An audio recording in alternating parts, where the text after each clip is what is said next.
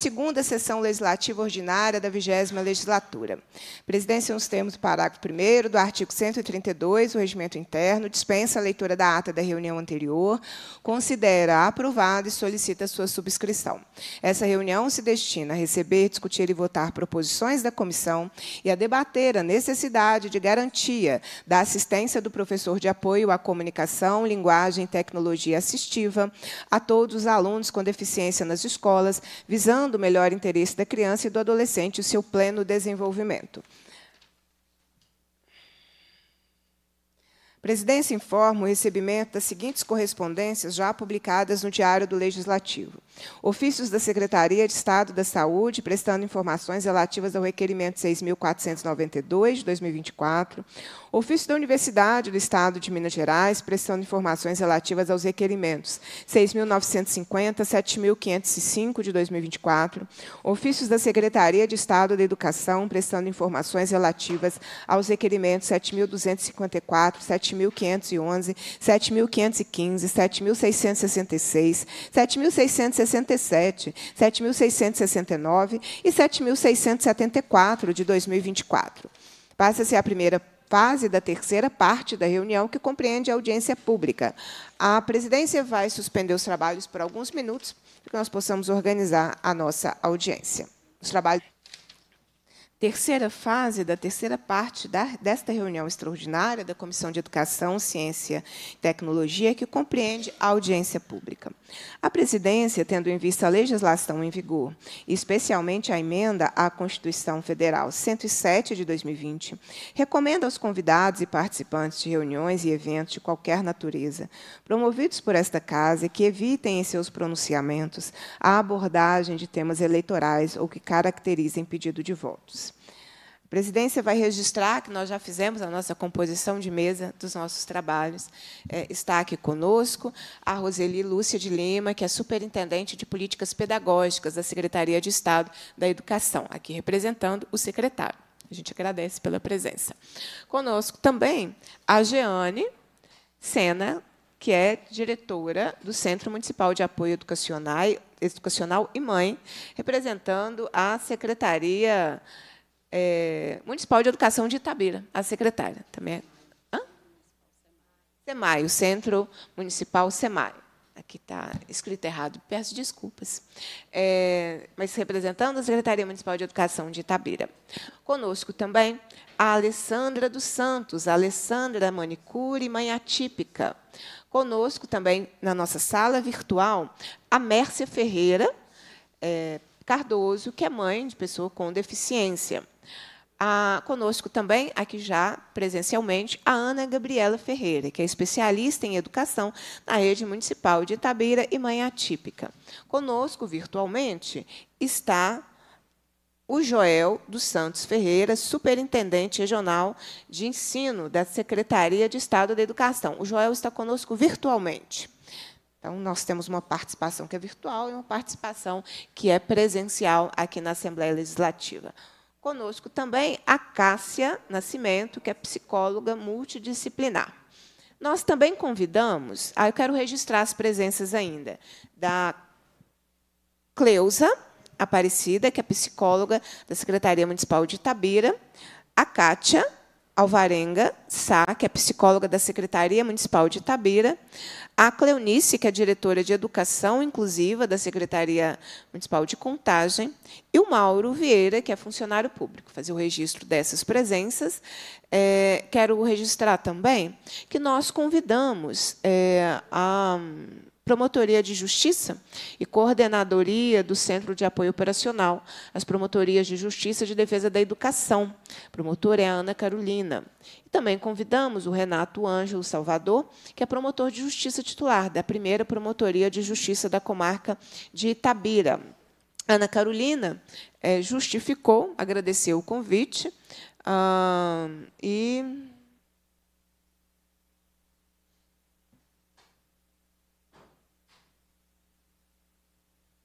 e pediu desculpas pela ausência em virtude de já ter um compromisso anteriormente agendado.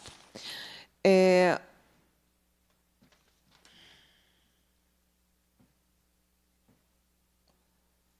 o promotor Renato Ângelo também é, nos enviou uma justificativa que eu acho que eu, eu poderia ler integralmente, porque eu acho que ele, a justificativa dele tem a ver com o conteúdo dessa audiência e talvez possa é, nos ajudar. É, ele destaca que tem sido árdua a luta pela educação inclusiva na comarca de Itabira, que abrange as cidades de Itabira, Santa Maria de Itabira e também do Mato Dentro. A luta inclui atuação no âmbito individual e no âmbito coletivo. Na tutela individual, são comuns os casos de alunos com deficiência sem assistência de professor de apoio, ou, no caso de pessoas com TEA, sem o acompanhante especializado para, usar na, para auxiliar na alimentação, locomoção e higiene. Também há demandas por materiais didáticos, salas de recurso, participação da família e de profissionais da saúde na elaboração do plano individual de atendimento especializado.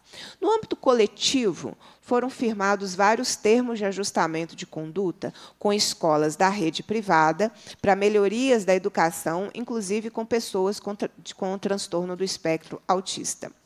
Ainda na tutela coletiva para melhorias na educação inclusiva, foram ajuizadas ações civis públicas contra o município de Itabeira e o Estado de Minas Gerais. Ambas já possuem sentenças favoráveis em primeiro grau. Na sentença da ação civil pública contra o Estado, o ente público foi condenado a reorganizar o setor de educação inclusiva das escolas estaduais, com recursos humanos, com habilitação e formação especializada, recursos materiais e financeiros que viabilizem esta modalidade, com fluxo para disponibilização de recursos, estudo de casos e plano individual de atendimento especializado, levantamento e atendimento de demandas para salas de recursos, recursos materiais de acessibilidade, monitoramento dos casos, plano de formação inicial e continuado para todos os professores de atendimento especializado e regentes, articulação com saúde e assistência social, entre outros pontos. A sentença contra o município de Itabira foi semelhante. Essas obrigações precisam ser cumpridas em todo o sistema de educação. Itabira tem a Associação de Mães de Autistas, cujo objetivo é, primordialmente, implementar políticas públicas para tratamento precoce de pessoas com TEA.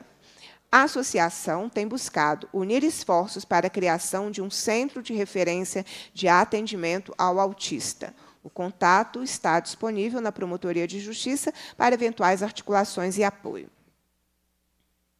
Uma crítica específica a ser feita à confusão.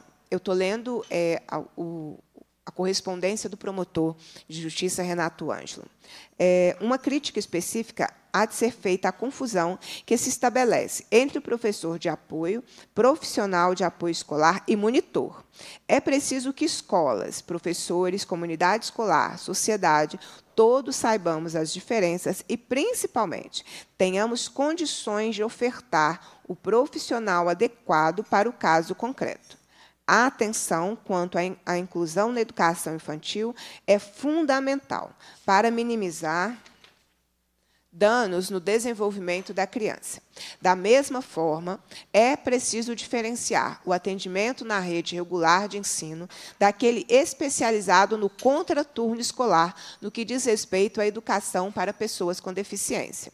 Essa promotoria de justiça e outras, por exemplo, João Molevade, têm ajuizado ações civis públicas contra o Estado de Minas Gerais para casos que demandam professor de apoio individualizado ou, no mínimo, para que alunos que têm um grau de dependência mais elevada possam não dividir o profissional com vários outros alunos. Afinal, isso prejudica o professor, os alunos com deficiência e toda a turma. Contudo, o Estado de Minas Gerais e até mesmo o Judiciário, se ancoram no artigo 27 da Resolução da Secretaria de Estado da Educação 4.256 de 2020, segundo o qual é autorizado um professor de apoio para até três estudantes no mesmo ano de escolaridade na mesma turma. No caso em que houver apenas uma turma, turma com, para o mesmo ano, o professor de apoio deverá, poderá atender mais de três alunos. A norma também veda mais de um professor de apoio na mesma turma. Questiona-se, a título de reflexão, isso tem sido objeto de arguição de inconstitucionalidade por esta Promotoria de Justiça. O que fazer no município em que o aluno é TEA, nível alto de suporte, conta com outros dois ou três colegas também com deficiência, sendo todos no mesmo ano de escolaridade e mesma turma na escola? Como não pode ter mais de um professor de apoio e um aluno demanda maior atenção, os demais alunos ficarão sem efetiva assistência, violando a Constituição da República, leis federais e a Convenção Internacional sobre os Direitos das Pessoas com Deficiência. Enfim, é preciso pensar em alterações normativas, em melhorias nas estruturas das escolas, em eventos para que a sociedade saiba acolher melhor os alunos e alunas com deficiência sem discriminação e, principalmente, em capacitação de todas as pessoas que lidam com o público com deficiência. As barreiras não estão nos indivíduos, e sim na sociedade e no poder público. Essa é o posicionamento do promotor de justiça, Renato Ângelo Salvador Ferreira, primeiro promotor de justiça de Itabira, que, embora não tenha vindo, trouxe todo o seu posicionamento com uma síntese muito assertiva do debate que nós faremos aqui. Então, quero cumprimentar o promotor e agradecê-lo pela gentileza de, ao justificar a ausência em relação a essa audiência, mas trouxe todo o debate já na sua correspondência. E acho que ele será, ele é, né, ele será, não. Ele é um importante parceiro nesse processo todo. Nós vamos agora passar a palavra às pessoas que estão conosco, nossas convidadas, convidadas, né, na sua grande maioria, mulheres. É, e esse recorte de gênero não é uma coincidência. É, vou passar a palavra, então, para as nossas convidadas. Nós já combinamos um pouco a, a ordem das falas. Nós vamos começar com as mães e com a nossa especialista da educação básica, que foi quem procurou a comissão de educação para que essa audiência pudesse ser realizada. É, na sequência, nós vamos ouvir o município, vamos ouvir o Estado e vamos tentar, gente, tirar encaminhamentos. Né? Eu havia dito aqui, na, no momento que a reunião estava suspensa, se essa audiência está acontecendo, porque há uma insuficiência em relação é, ao nosso assunto, né? a necessidade de termos professores de apoio. Então, tem problemas para serem encarados, para serem resolvidos, e a tarefa do Poder Legislativo é, é trabalhar também nessa mediação, além do processo de audiência pública, da qual eu sou muito fã, é o momento da, das pessoas terem voz diretamente em relação ao debate que nós estamos fazendo. Então, eu quero agradecer a Ana Gabriela, que nos provocou propositivamente para que a Comissão de Educação realizasse essa audiência. O requerimento é de minha autoria, aprovado por todos os membros presentes na reunião em que esse requerimento foi votado. É, e passo a palavra, então, à Ana Gabriela, para que ela possa é, trazer a sua contribuição ao debate. Muito. Foi pertinho de você. É. Bom dia a todas e aos presentes. Eu sou muito grata à deputada Beatriz Cerqueira por todo o apoio, por ter acolhido o requerimento, que eu enviei em março, né? mas eu entendo que as demandas são muitas. Você é uma deputada que eu acompanho muito, sei que você trabalha muito, e é um prazer estar aqui de novo com você numa audiência pública. Bom, é, em respeito às pessoas com deficiência visual que estão aqui presentes. A Heloísa acabou de chegar, o João está a caminho, e as que estão nos assistindo, eu vou fazer minha autodescrição. Eu sou uma mulher de 41 anos, é, negra, de pele clara, cabelo curto, encaracolado, estou vestindo uma blusa branca e uso óculos. Eu sou mãe atípica, tenho um filho de 11 anos, é, diagnosticado com autismo há três anos, é, e ele também tem altas habilidades. Eu sou formada em Ciências Sociais, atuei como professora de Sociologia na rede estadual durante seis anos, desde 2016, e atualmente atuo na rede municipal de Itabira como especialista em educação. Estou concluindo o curso de pedagogia na UFOP, de Ciências Sociais na UFMG.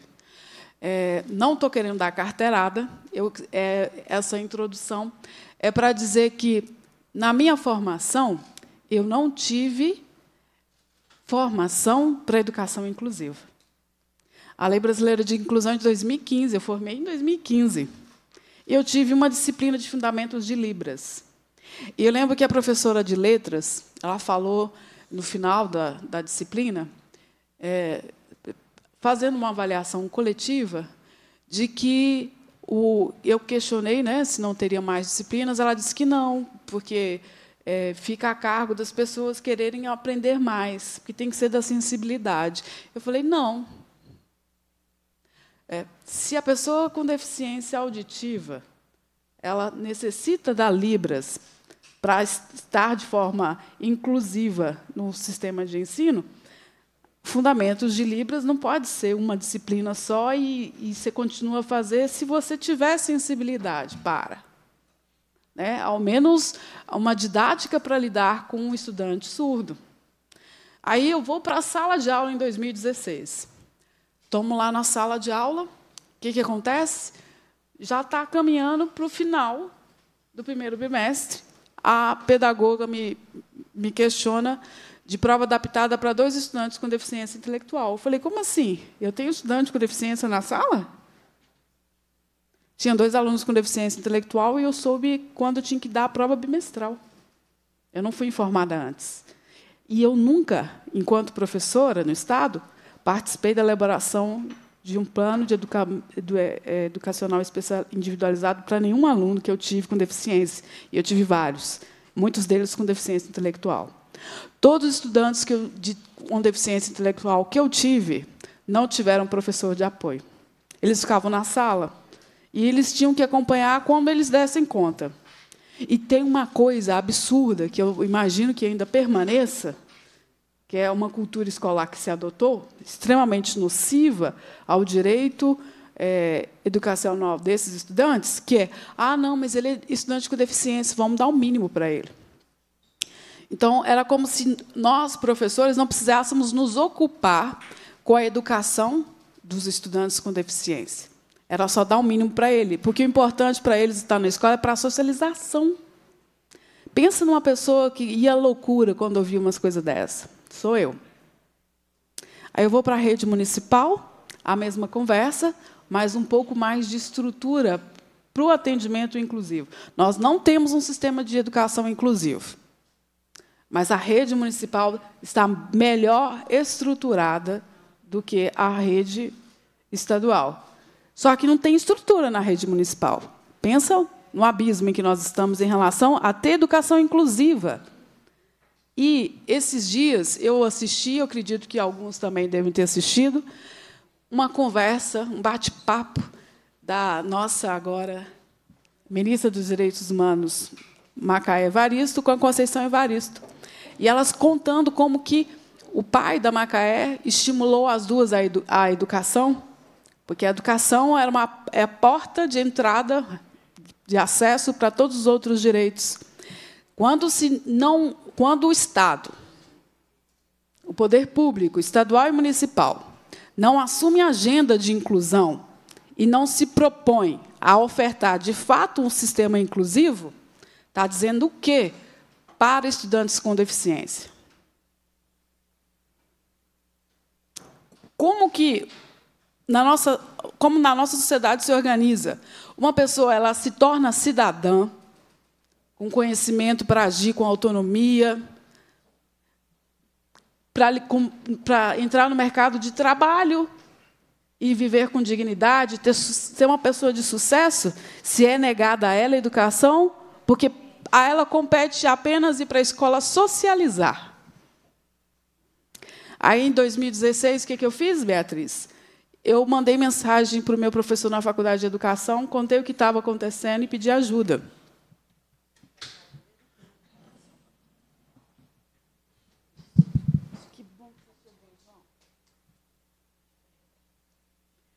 E a... Que bom que você chegou, João. E aí, é, ele me passou uma pasta no Drive com um monte de artigo e eu comecei a ler. Porque não tinha justificativo eu adaptar uma prova se eu não ia, não ia modificar minha forma de dar aula. E aí eu fui atrás de professora de apoio dos meninos, eles ah, eles não têm direito. Eles vão na PAI uma vez por semana e tem a sala de recursos. Você pode vir à tarde e conversar com a professora da sala de recursos. Fui à tarde conversar com a professora da sala de recursos e ela disse assim para mim: Ah, mas não adianta, não, eles não vão aprender. Porque eles não têm, eles não conseguem aprender nada abstrato. Eu dando aula de sociologia. Eu, eu não aceitei a, aquela fala. É, é inaceitável uma fala dessa. Então eu fui ler os artigos que o Paulo me passou. E aí eu entendi que eu precisava descrever as coisas que eu estava falando. Então eu comecei a fazer minhas aulas com imagens, com slides, aquela trabalheira toda para montar o slide na sala, depois desmontar, mas eu fazia. E eu percebi então que aqueles alunos eles eram hostilizados pelos demais. Então eu falei: "Não, essa etapa nós vamos discutir o porquê da educação inclusiva". E trabalhei isso com os alunos. Essa aluna, é, eu perguntei para eles assim, o que, que eles queriam aprender em sociologia e que eu ainda não tinha ensinado, né, que era a última, é, último bimestre e tal. Ela virou para mim e falou assim: eu queria aprender continha. Nossa, eu tenho dislexia descalculia. Pensa uma pessoa me pedir para ensinar ela continha. Aí eu corri atrás da professora de apoio e falou assim: não, mas ela não aprende. Eu já tentei ensinar. Fui atrás da professora de matemática, eu não tenho paciência. Então eu tenho débito com ela. Eu não tinha condições de ensinar ela continha. Quando eu terminar a pedagogia, eu vou atrás dela, que eu acho que eu tenho condições de ensinar ela continha. Ah, eu mantenho contato com ela. E hoje ela é uma pessoa que vive de BPC.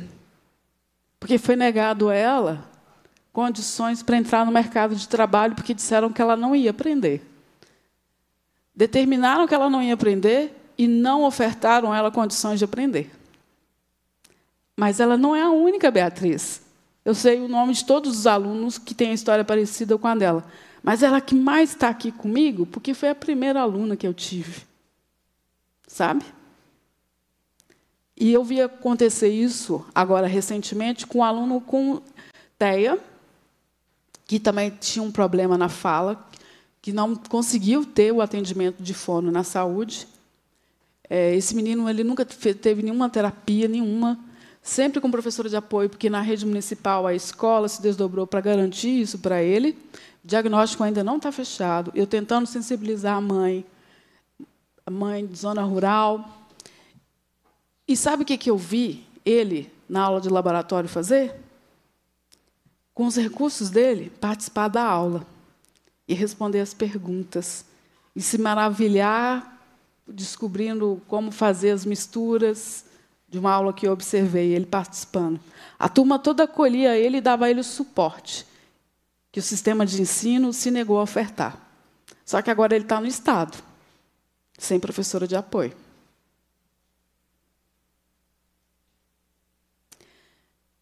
O meu filho é TEA. E arrumaram uma professora de apoio para ele quando eu perguntei cadê o PDI dele. Ah, mas não precisa, ele, ele sabe tudo.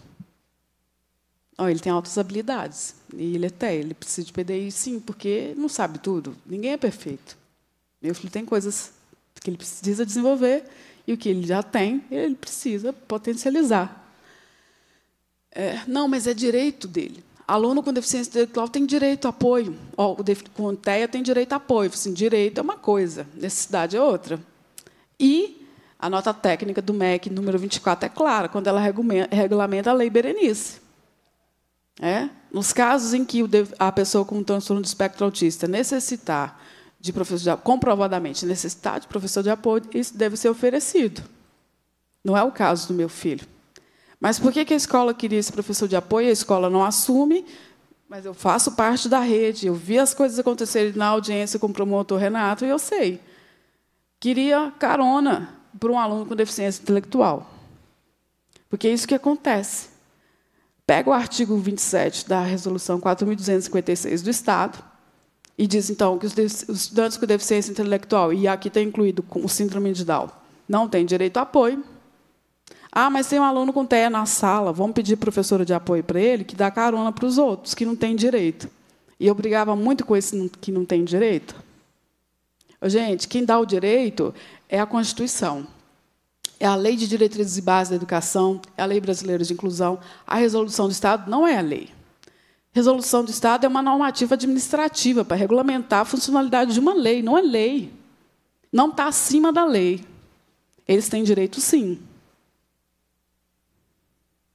O mesmo acontece com um estudante que ele não tem deficiência, mas em razão das mazelas da nossa sociedade desigual, violenta, ele desenvolveu algum transtorno. E lá no Rio Grande do Sul, esse estudante é reconhecido como estudante com deficiência psicossocial. Quem tem transtorno bipolar ou qualquer outro transtorno mental. E lá no Rio Grande do Sul é assegurado ele esse apoio especial, educacional especializado, tal qual é garantido pela Lei de Diretrizes Básicas da Educação ao estudante com é, deficiência, porque lá existe uma federação de, de, é, de, famílias e profissionais que pesquisam a questão da direito à inclusão né, da pessoa com deficiência e, por meio de uma nota técnica com especialistas, garantiram isso lá no Rio Grande do Sul. Eu fiz uma análise comparada de algumas resoluções. A resolução do Paraná incluiu, dentro do atendimento educacional especializado, quem tem transtorno específico de aprendizagem, dislexia, descalculia e TDAH. O Estado de Minas Gerais não consegue reconhecer isso. Não reconhece. Existe uma lei federal própria para transtorno específico de aprendizagem. O Estado não reconhece, não é dado a, esse, a esses estudantes o atendimento educacional especializado que é como o promotor Renato colocou a reflexão. É, se vai depender da necessidade do aluno. Não é, ah, ele é, é TE, então vamos dar um professor de apoio para ele. Não, é qual é a necessidade dele? Qual é a necessidade do aluno para ele se desenvolver intelectualmente, academicamente, socialmente, emocionalmente, com, em, em condições de equidade com os demais? O que, que ele precisa? Qual que é o suporte que ele precisa da escola para se desenvolver? É um professor de apoio para auxiliar ele na escolarização? É um profissional de apoio para auxiliar ele na locomoção, ao cuidado de vida diária? É um monitor só para dar uma atenção para ele? É os três? Às vezes é os três. A resolução do Paraná ela já tem descrita que em toda turma que tiver um aluno com deficiência intelectual ou com, com deficiência intelectual, é, deficiência múltipla, deficiência auditiva, deficiência visual ou transtorno específico de aprendizagem, aquela turma tem um segundo professor de turma que vai ser responsável para dar esse suporte. Mas por que, que é um suporte? Porque, como o promotor Renato é, colocou na resposta da provocação que eu fiz para ele, que na mesma época que eu mandei para você, eu mandei o mesmo documento com um endereçamento diferente. É, os estudantes eles têm que ter esse atendimento educacional especializado na figura desses atores para auxiliar como suporte, mas quem, quem é responsável pela educação e escolarização desses estudantes? Os professores regentes, nós temos formação para educação inclusiva? Não. E o que, que acontece? Os regentes transferem para os professores de apoio a educação dos alunos com deficiência. Só que os professores de apoio também não têm formação para isso. Eles fizeram um curso para trabalhar como professor de apoio. Mas eles não são professora de língua inglesa para assumir a, a escolarização da língua inglesa de uma pessoa com deficiência. E que situação é essa que nós estamos criando na educação para esses meninos e para essas meninas? Estão fazendo de conta que está ofertando a garantia de um direito, está negando o direito e está negando o futuro deles. Como que eles vão se inserir no mercado de trabalho? Em que posição? Lá em Tabira eu vejo muitas pessoas com deficiência intelectual trabalhando no supermercado como embalador de caixa. Porque foi negado para eles desenvolver habilidades para que eles pudessem estar em outras posições e não nessa que ninguém quer estar, e aí cedeu essa vaga para eles. Eu acho isso um absurdo tremendo. É uma violação de direito, na minha perspectiva. É uma violação de direito. Aí, eu vou pegar aqui, para encerrar, que eu já falei demais nem sei quantos minutos, o artigo 27 da LBI. A educação constitui direito da pessoa com deficiência assegurado sistemas educacional inclusivo em todos os níveis e aprendizado ao longo de toda a vida de forma a alcançar o máximo desenvolvimento possível de seus talentos e habilidades físicas, sensoriais, intelectuais e sociais, segundo suas características, interesses e necessidades de aprendizagem. Isso não acontece em escola nenhuma. Eu quero uma escola dessa para o meu filho. Então, eu fiz o requerimento, não foi só pelas crianças que não estão tendo esse direito. É, também é para o meu filho, que é uma, é uma criança com transtorno do espectro autista e altas habilidades. E esse sistema não está acontecendo para ele, e nem para os colegas dele, e nem para os meus alunos, que eu vou voltar para a sala de aula. Eu prefiro a sala de aula do que a coordenação pedagógica. Agora, eu quero um sistema educacional inclusivo para me trabalhar. Eu não quero ter que ficar brigando com meus colegas professores para que eles façam a adaptação das suas aulas para que a aula seja inclusiva, a comunicação na aula seja inclusiva, seja acessível. Porque o sistema educacional inclusivo só vai acontecer quando ele eliminar as barreiras descritas no artigo 3 da Lei Brasileira de Inclusão. As barreiras arquitetônicas, as barreiras da comunicação e informação, as barreiras atitudinais, sobretudo, porque Dizer que um deficiente intelectual, que uma pessoa com síndrome de Down, que uma pessoa com transtorno bipolar não tem direito a professor de apoio é uma barreira atitudinal. É a interpretação equivocada da legislação, negando o direito. E eu agradeço a todos por me ouvir por tanto tempo. Nós que te agradecemos por todo o debate por tudo que você nos trouxe. Eu quero registrar que o João Ventura dos Anjos, servidor da Biblioteca Pública do município de Lagoa Santa, é, também já está conosco, compondo a mesa dos nossos trabalhos. Então, seja bem-vindo. Na sequência, nós vamos passar. Eu posso passar para a Alessandra? Poderíamos alternar, ouvir alguém, ouvir a Mércia, que está virtualmente. Vamos ouvir a Mércia Ferreira, a Mércia é mãe de pessoa com deficiência, está conosco é, remotamente. Mércia, bom dia. Com a palavra para trazer suas considerações ao debate. O seu áudio está fechado. Ela que tem que abrir, gente? Abriu. Bom dia a todos. Queria cumprimentar a deputada Beatriz Cerqueira. Em nome dela, cumprimentar também todas as pessoas que estão participando dessa audiência. Dizer que é um prazer enorme estar aqui. Infelizmente, não pude estar presencialmente, mas é um prazer enorme poder discutir esse assunto. É, agradecer a Ana Gabriela pelo convite, viu, Ana? Eu sou mãe atípica, tenho um filho de 11 anos com TEA, e a Ana Gabriela é minha colega de sala, nós fazemos pedagogia juntas e discutimos várias vezes sobre esse assunto. Inclusive, é tema do nosso TCC, do meu e do dela, e nós colocamos essa, essa questão, essa indagação enorme, né, que a Gabriela escreveu muito bem, e o promotor também deixou muito claro as considerações dele em relação ao processo educacional que existe no Estado de Minas Gerais, que não atende de forma nenhuma às necessidades dos alunos, nem do meu filho, nem do dela, nem da maioria. Eu acho que eu não conheço ninguém que vá me dizer hoje que existe o processo educacional que funcione, que é de fato inclusivo para a pessoa com deficiência ou ainda para a pessoa que tem necessidade educacional específica.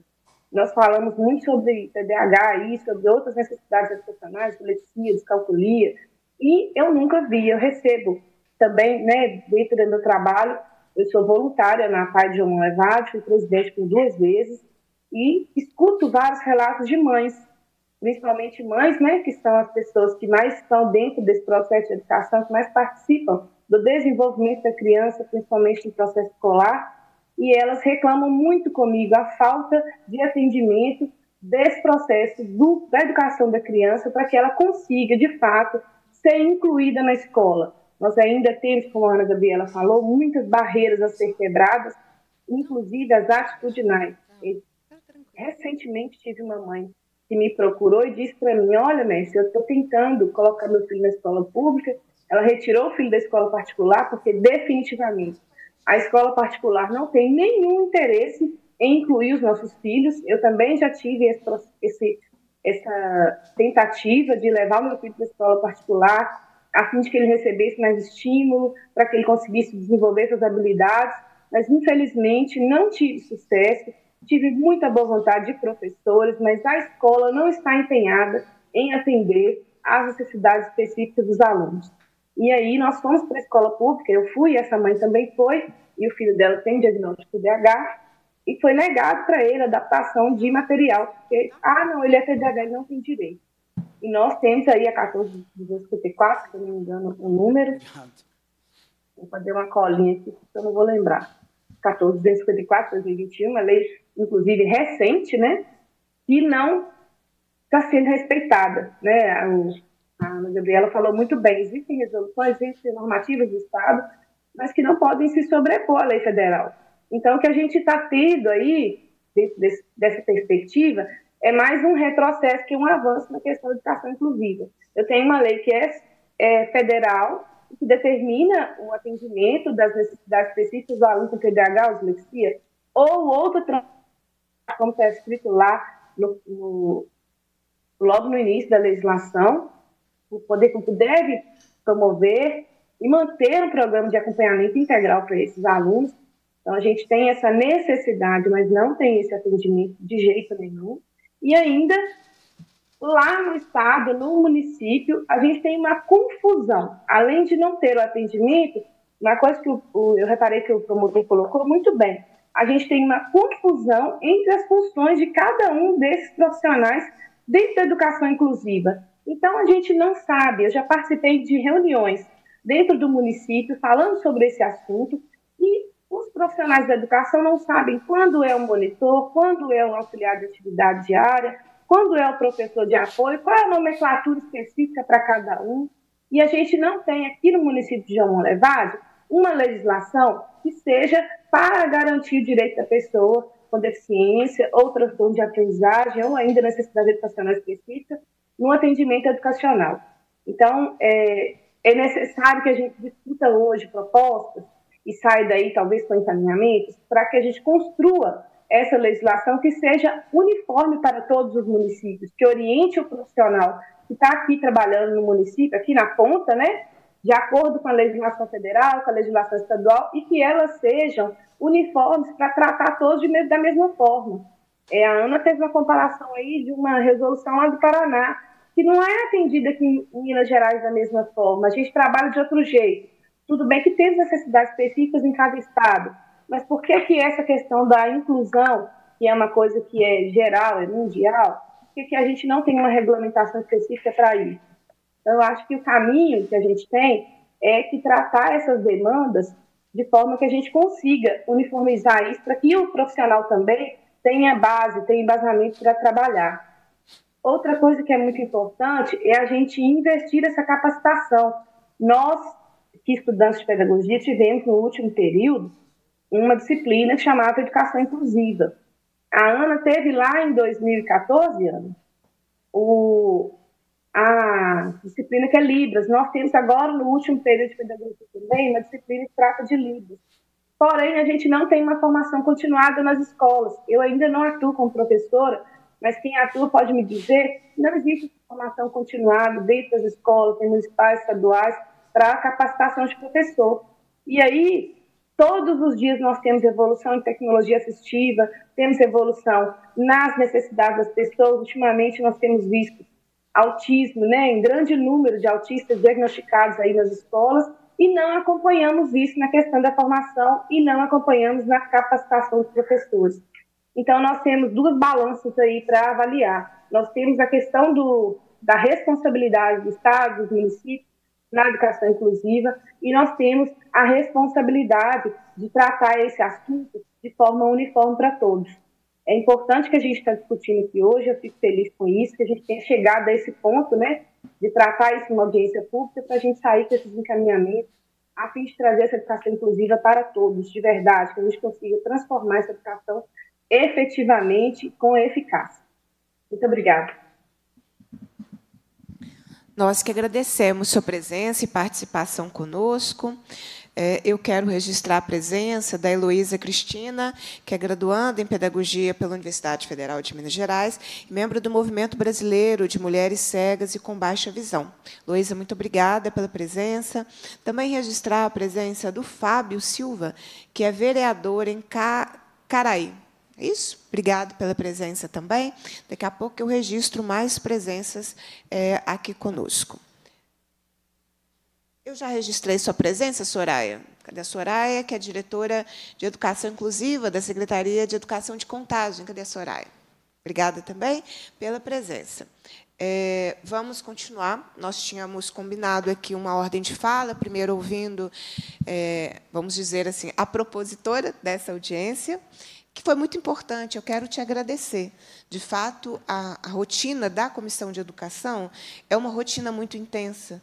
Daqui a gente discute, gente, do direito de abertura de matrículas. A gente já fez audiência pública sobre isso, matrícula. É, as questões relacionadas à infraestrutura da escola é, e toda a pauta também da educação superior, das questões relacionadas à ciência, pesquisa e tecnologia, inovação. É, quero muito te agradecer por ter provocado a comissão, provocado o nosso mandato, que essa é uma audiência muito importante. E é um exemplo é, necessário de que o poder legislativo ele precisa estar a serviço da população a partir da sua vida concreta, das suas necessidades. E eu espero que a gente possa sair daqui com encaminhamentos, não só em relação à Prefeitura e o Estado, mas do que a própria Comissão de Educação pode fazer. Então, muito obrigado, é, Ana Gabriela. Na sequência, então, nós vamos ouvir a Alessandra. Alessandra Ventura, que é manicure e mãe atípica. Com a palavra, Alessandra, para sua contribuição ao debate.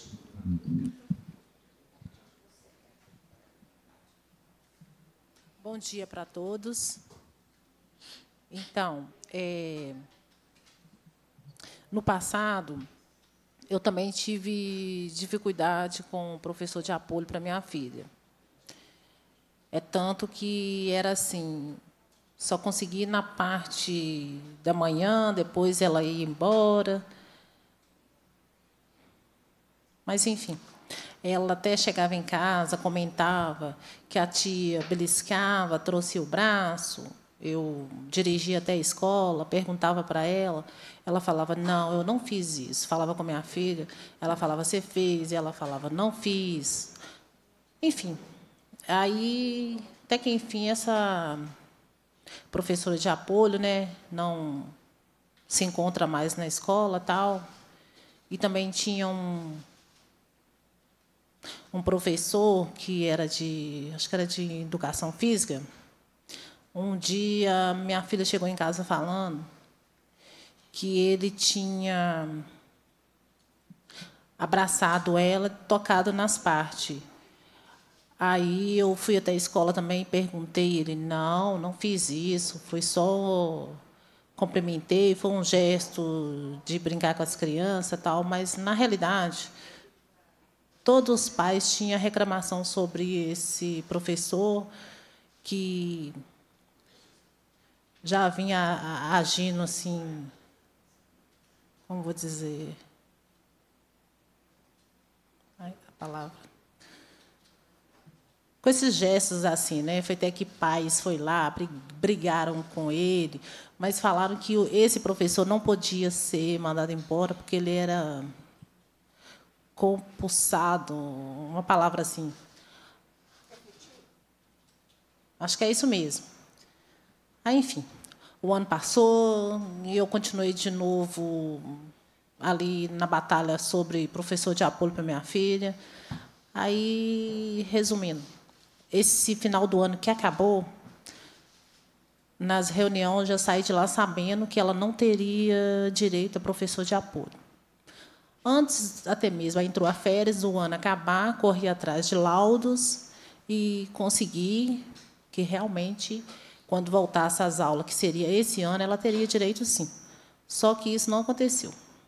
voltou às aulas, ela continuou estudando, sem professor de apoio, sem professor de apoio.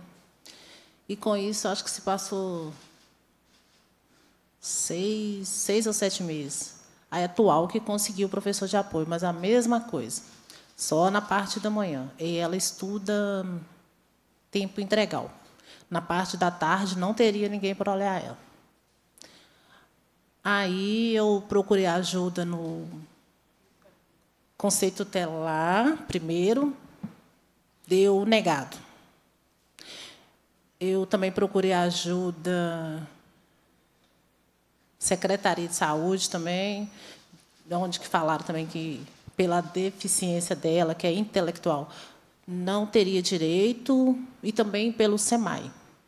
Aí foi onde que eu com indicações que eu procurei no Ministério Público e que é onde que eu consegui hoje em dia que ela tem essa professora de apoio que fica com ela o período da manhã e de tarde. Então, é, realmente foi tive que correr muito, andar muito atrás para conseguir essa professora de apoio. E sou muito grata por ter essa professora de apoio acompanhando ela, porque realmente ela necessita mesmo. É, não acontece automaticamente, não. Tem que ficar correndo atrás. Ou seja, tem que estar provando que realmente ela necessita. Enfim, é só isso. Eu agradeço. Obrigada. Nós que agradecemos a senhora. Na sequência, eu vou passar para as considerações é, do João Ventura, que é servidor da Biblioteca Pública do município de Lagoa Santa. Ah, dá para falar. Oi. Oi, gente, bom dia. É...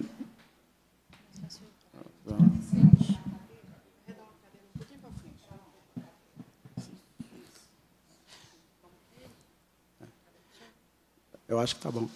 Bom dia a todos. Na pessoa da Beatriz Cerqueira, eu cumprimento todas as pessoas presentes. Eu me chamo João Ventura dos Anjos, sou formado em comunicação pela Universidade Federal de Minas Gerais. É, tecnicamente, a Messi e a Ana Gabriela já falou praticamente tudo. É, mas uma coisa que elas tocaram, um ponto muito importante, é a barreira atitudinal que, tá, que nós temos que quebrá-la que infelizmente ela está enraigada na nossa, na nossa sociedade e, e com o tempo nós temos que quebrá-la. É, porque a legislação já está aí para nos amparar. É, nós estamos falando das pessoas com das pessoas neurodivergentes, mas o problema da educação é muito complexo e é, muito, e, e é mais difícil do que imagina. Não, é, não são todos os municípios também que estão estruturados. Eu acompanho casos na minha cidade de mães de alunos reclamando e, e diretores chamaram até polícia para alunos por não dar conta do problema, por não conseguir solucionar o problema, por não conseguir lidar com o problema. Aí tem que ter parte da capacitação, da legislação ser respeitada e as pessoas com deficiência visual também estão indo pelo mesmo caminho. É, eu trabalho na biblioteca já tem 12 anos. A gente auxiliou uma moça, que hoje ela está na escola estadual, que tinha a sala de recurso do município, tem a tecnologia assistiva para auxiliá-la na, na, biblioteca. Tinha na época, ela foi aprender o computador, utilizar o computador comigo e um outro rapaz que tinha lá que sabia ensiná-la a mexer no computador, fazer os textos, copiar, colar. E hoje ela estuda na escola é, estadual. Ela também não tem o apoio necessário. É, eu tenho uma irmã hoje, ela está formada do ensino médio.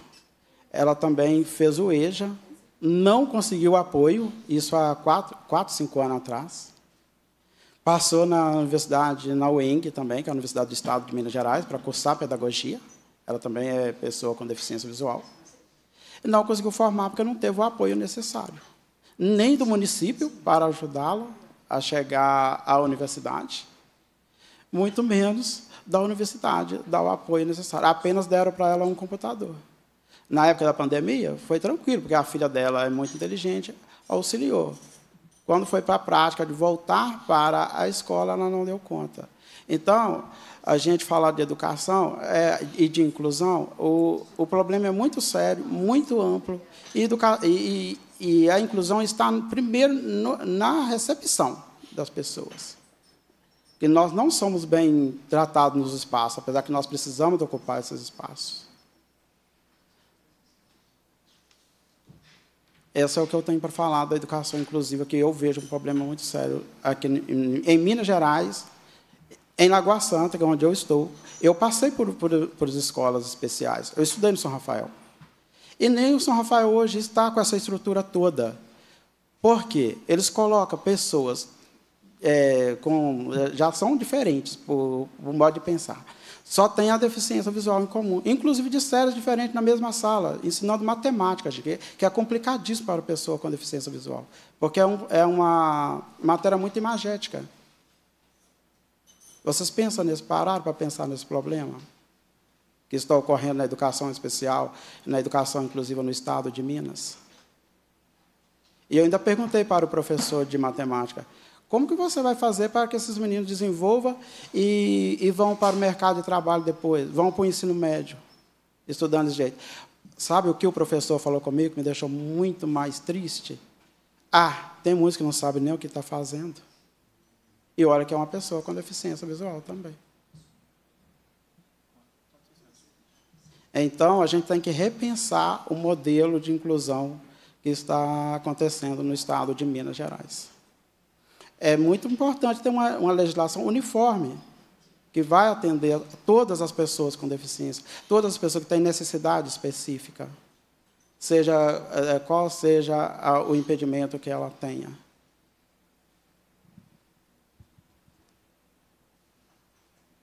Ok?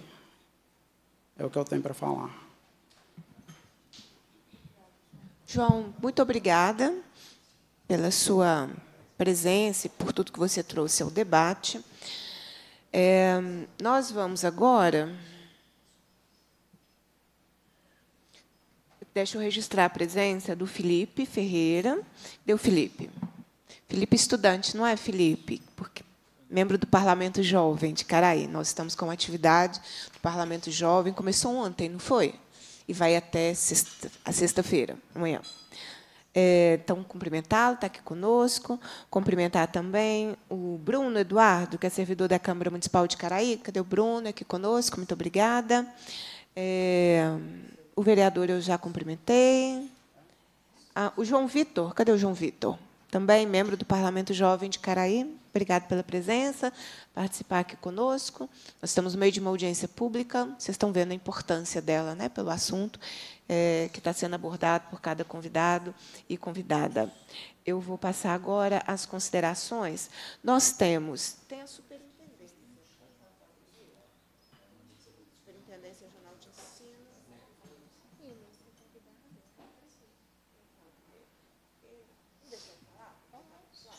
Estou aqui combinando a ordem das falas, nós estamos com representação da Secretaria de Estado da Educação, Superintendência Regional de Ensino eh, e da Secretaria Municipal de Educação eh, de Itabira. Eh, então, eu vou passar para o Joel. O Joel está conosco virtualmente, ele é superintendente. Superintendente de Nova Era. É, que é onde que responde pela rede estadual de Itabira. Então, Joel, eu vou te passar a palavra para que você traga suas contribuições ao debate é, e também do que podemos fazer né, para avançarmos a partir do que do diagnóstico trazido pelas nossas convidadas e pelo nosso convidado até o momento. Com a palavra para suas contribuições. Bom dia a todos. Então, vai ter um, um som aqui ao fundo é, porque estamos em uma reunião gerencial aqui com os diretores das escolas estaduais da Regional de Nova Era. Primeiramente, quero é, cumprimentar a deputada, em nome dela, todas as pessoas com presença na mesa, todos os convidados, para quem não tem nesse momento podendo ver aqui, me descrevo, sou moreno, uso óculos é, e tenho o rosto é, ovulado. É, gostaria, então, aqui, né, de dizer a importância do tema da, da educação especial, que é um tema muito caro e que a gente, enquanto superintendência regional de ensino, vamos atuando junto à nossa equipe SAI na, no acompanhamento sistemático dentro das, das nossas escolas da rede estadual. Atualmente, né, nós temos aqui na, em Itabira número de, né, de alunos enturmados na nossa educação especial. Nós temos oito, aliás, nós temos em Itabira 8.142 estudantes. Desses 8.142 estudantes né, da regulares, a gente tem 116 professores de apoio autorizados, 83 é, turmas, né? Vamos falar aqui, vamos dizer assim, 83 professores de é, alunos com estudantes de apoio 116, professores de apoio 83, porque, como bem disse na reunião, em alguns casos, nós temos o professor atendendo mais de um estudante. Estudantes com ASB, nós temos aí também 26, são aqueles estudantes que necessitam né, de acompanhamento para fora da sala de aula, né? Então, aqueles estudantes que têm dificuldade da locomoção ou necessita de todo o auxílio na alimentação e higienização, nós temos 26 é, em Itabira. Nós temos também é, estudantes com cegueira ou baixa, é, ou, ou baixa visão em Itabira, 19, né? Na nossa regional 42, estudante com surdez ou baixa audição. Na nossa regional 17, em Itabira 6, é, salas de recursos, a gente tem na nossa regional 28 turmas, 28 salas e 30 turmas, em Itabira nós temos sete salas e nove turmas, e estudantes atendidos na sala de recursos na nossa regional são 393, 172 em Itabira, e junto a isso a gente tem todo um processo de formação junto, é, aproximado da Secretaria de Estado de Educação, junto às nossas equipes, com momentos temáticos junto às, às direções das escolas e equipes pedagógicas, para que elas possam, então, é, chegar dentro das escolas de forma cada vez mais assertivas. Nós entendemos, né, que a gente passa por muitos desafios dentro da educação especial e isso é a, enquanto secretaria e superintendência, nós vamos trabalhando no alinhamento de formação continuada desses servidores. Hoje em Tabira a gente tem o, o Centro de Referência de Educação Inclusiva, o CREI, que trabalha, que atualmente tem feito formações junto aos, é, aos professores, né? De maneira sistemática na, na, nos momentos de módulo 2, fazendo visitas regulares em, em algumas escolas, daquelas que necessitam né, de maiores investimentos pedagógicos ou de recursos né, ali para poder é, trabalhar junto aos professores. Compreendemos ainda né, que dentro dessa pauta da educação especial, nós precisamos já avançar em alguns aspectos, mas entendemos junto aqui que todos os esforços feitos né, junto à superintendência das escolas da rede estadual e também em parceria com a rede municipal, que por algumas vezes, né, a contacta a nossa equipe sai aqui para poder fazer as nossas ações a gente também tem, nos últimas, nas últimas apresentações e momentos, dentro das nossas reuniões, é, levado as boas práticas das escolas para que elas possam ser disseminadas com outras escolas, porque nós entendemos também que as escolas, é, dentro de seus territórios, eles têm comunidades diferentes, têm alunos diferentes, e é nessas diferenças que nós fortalecemos a nossa educação para cada vez mais inclusiva então, a gente tem cada vez mais trazido os estudantes, né, as práticas feitas com os estudantes pública educação especial, seja com ou sem professor de apoio,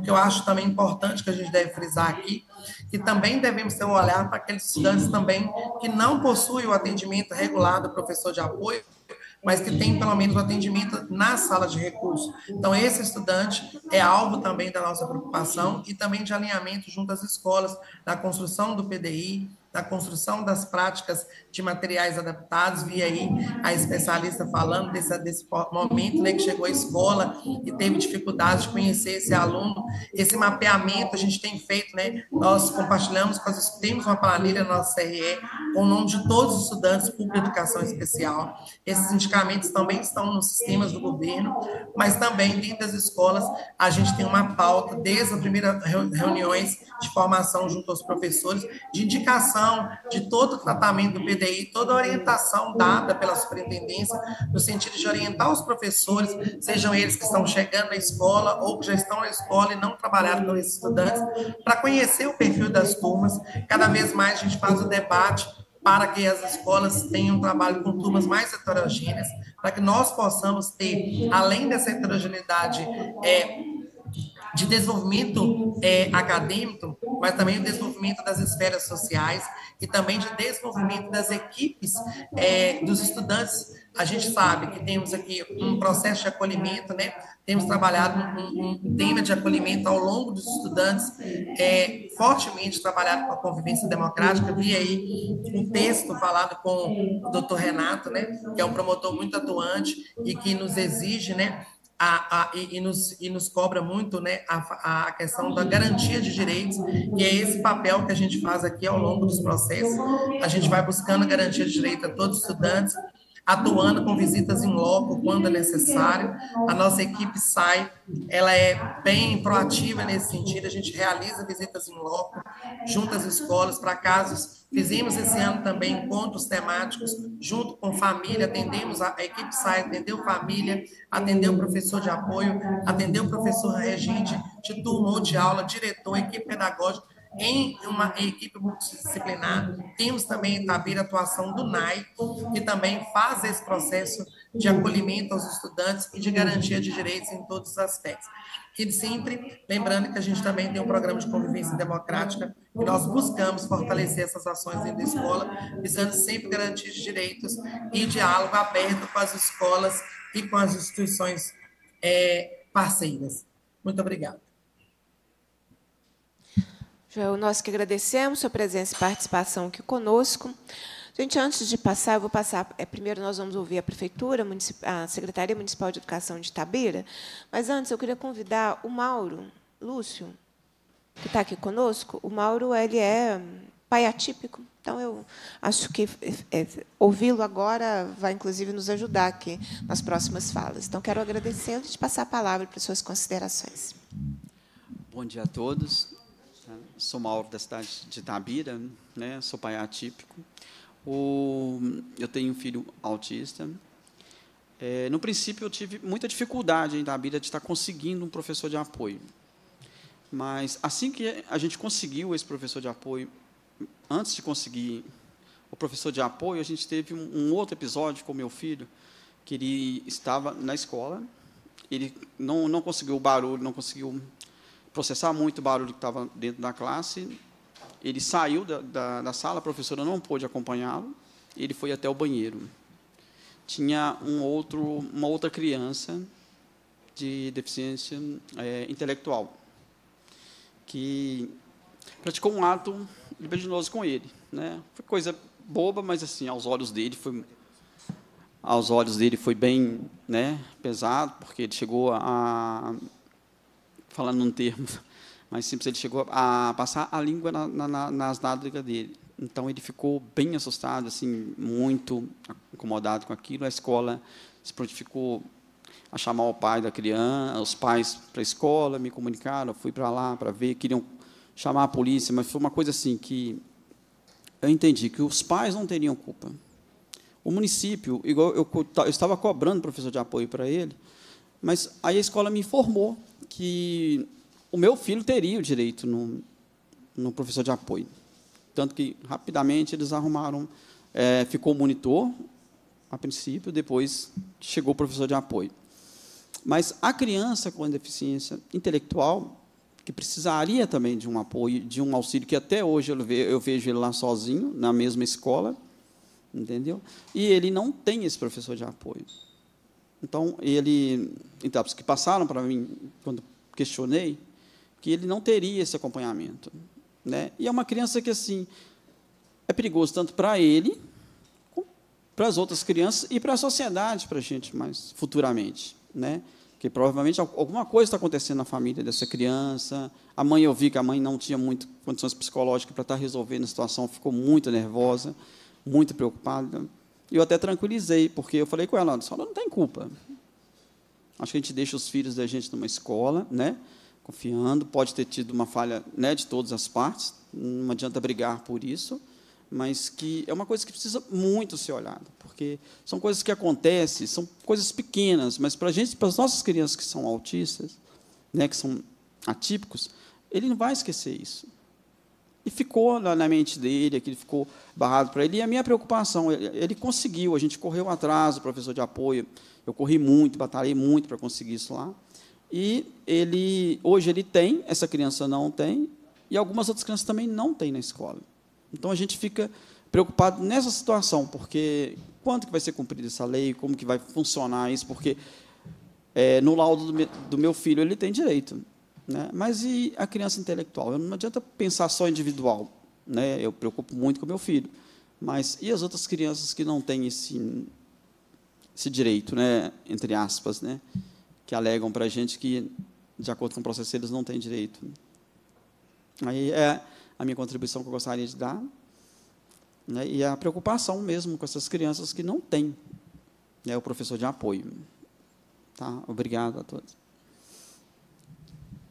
Nós que te agradecemos por estar aqui conosco.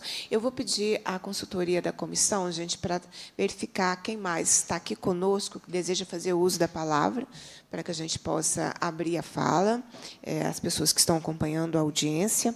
É, eu vou passar agora para as considerações da. Vamos começar pelo município, não é? é a Jeane é, Sena, que está aqui representando a Edna de Carvalho Silva, que é secretária municipal, é, que é a secretária municipal de Educação de Tabela, então está representando a secretaria. Então, agradeço a presença, Jane, e te passo a palavra para suas considerações. Gostaria Puxa um pouquinho o microfone para você, você vai ficar mais à vontade, mais pertinho. Aí, aí vai ficar melhor. Gostaria de cumprimentar a deputada Beatriz Cerqueira e, em nome dela, cumprimentar todos presentes. Tá? E em respeito aos colegas com deficiência visual, né, eu me defino como é, preta, de pele clara, é, estatura mediana, cabelos longos, avermelhados. É, então, de acordo né, com as colocações da Ana Gabriela, é, do doutor Renato Anjo, promotor, é, a gente entende, sim, né, dos pais presentes, essa questão né, do aluno com deficiência intelectual não ter direito a professor de apoio, eu entendo. Então, assim, a gente tem uma equipe, né, eu sou, estou na direção do Centro Municipal de Apoio Educacional de Itabira, o SEMAI.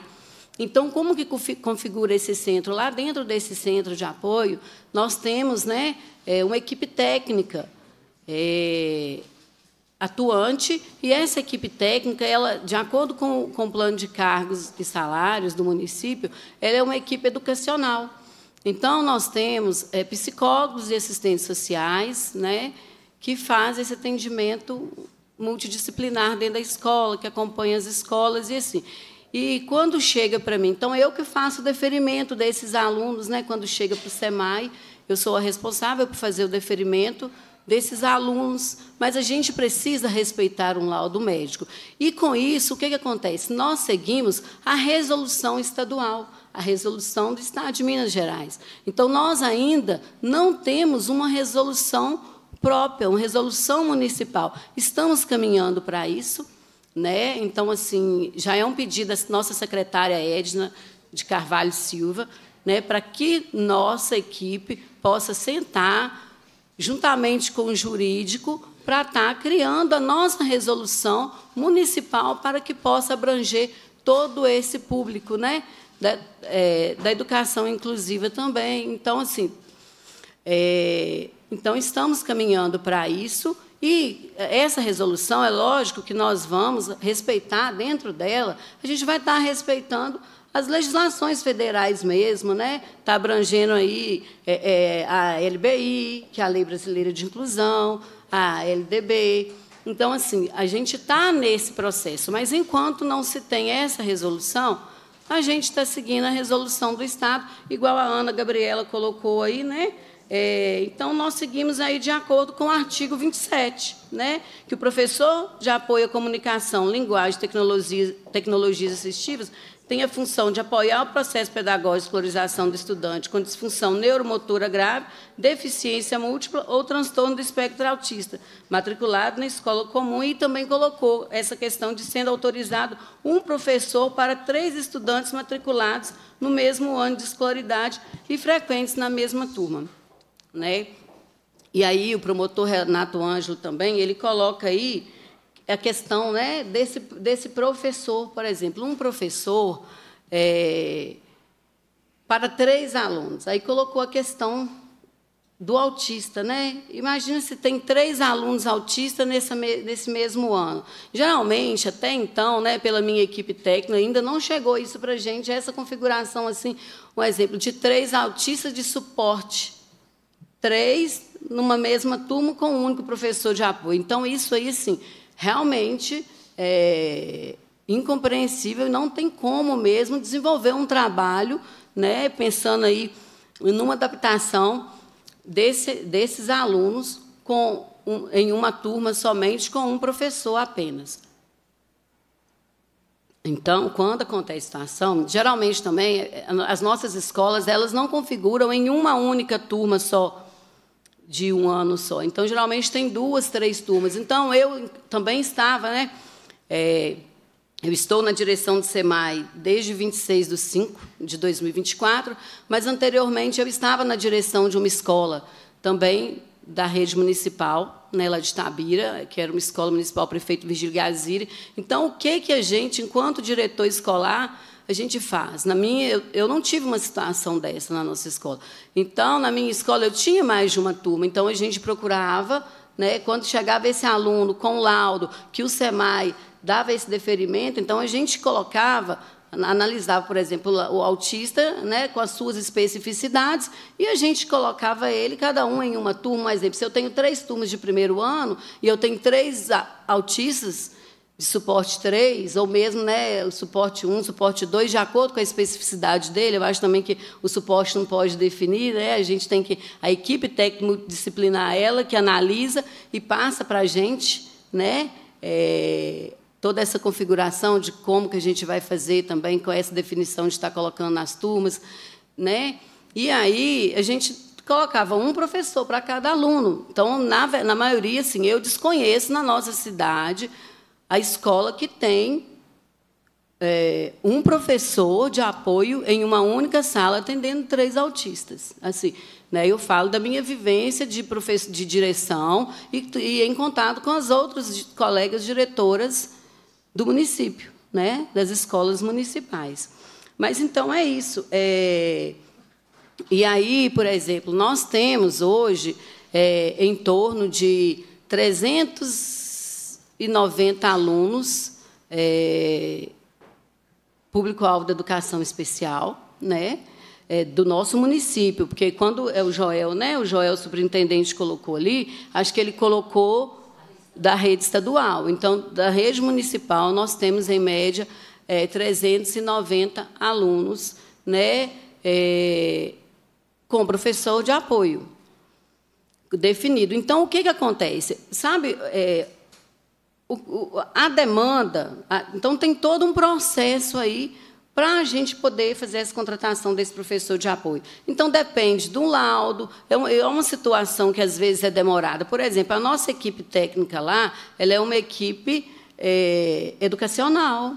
Né? Então, o que está se confundindo muito que às vezes é uma demanda da saúde e eles querem transferir para o nosso centro de apoio educacional. Então, a gente tem até os fonoaudiólogos lá dentro também, que compõem o centro, que está fazendo um atendimento clínico, mas de acordo com o plano. É, o plano de carga e salário agora, elas também vão fazer igual as psicólogos e assistentes sociais, dando esse suporte nas escolas. Então, não configura mais esse atendimento clínico de fonoaudiólogo lá dentro do nosso centro.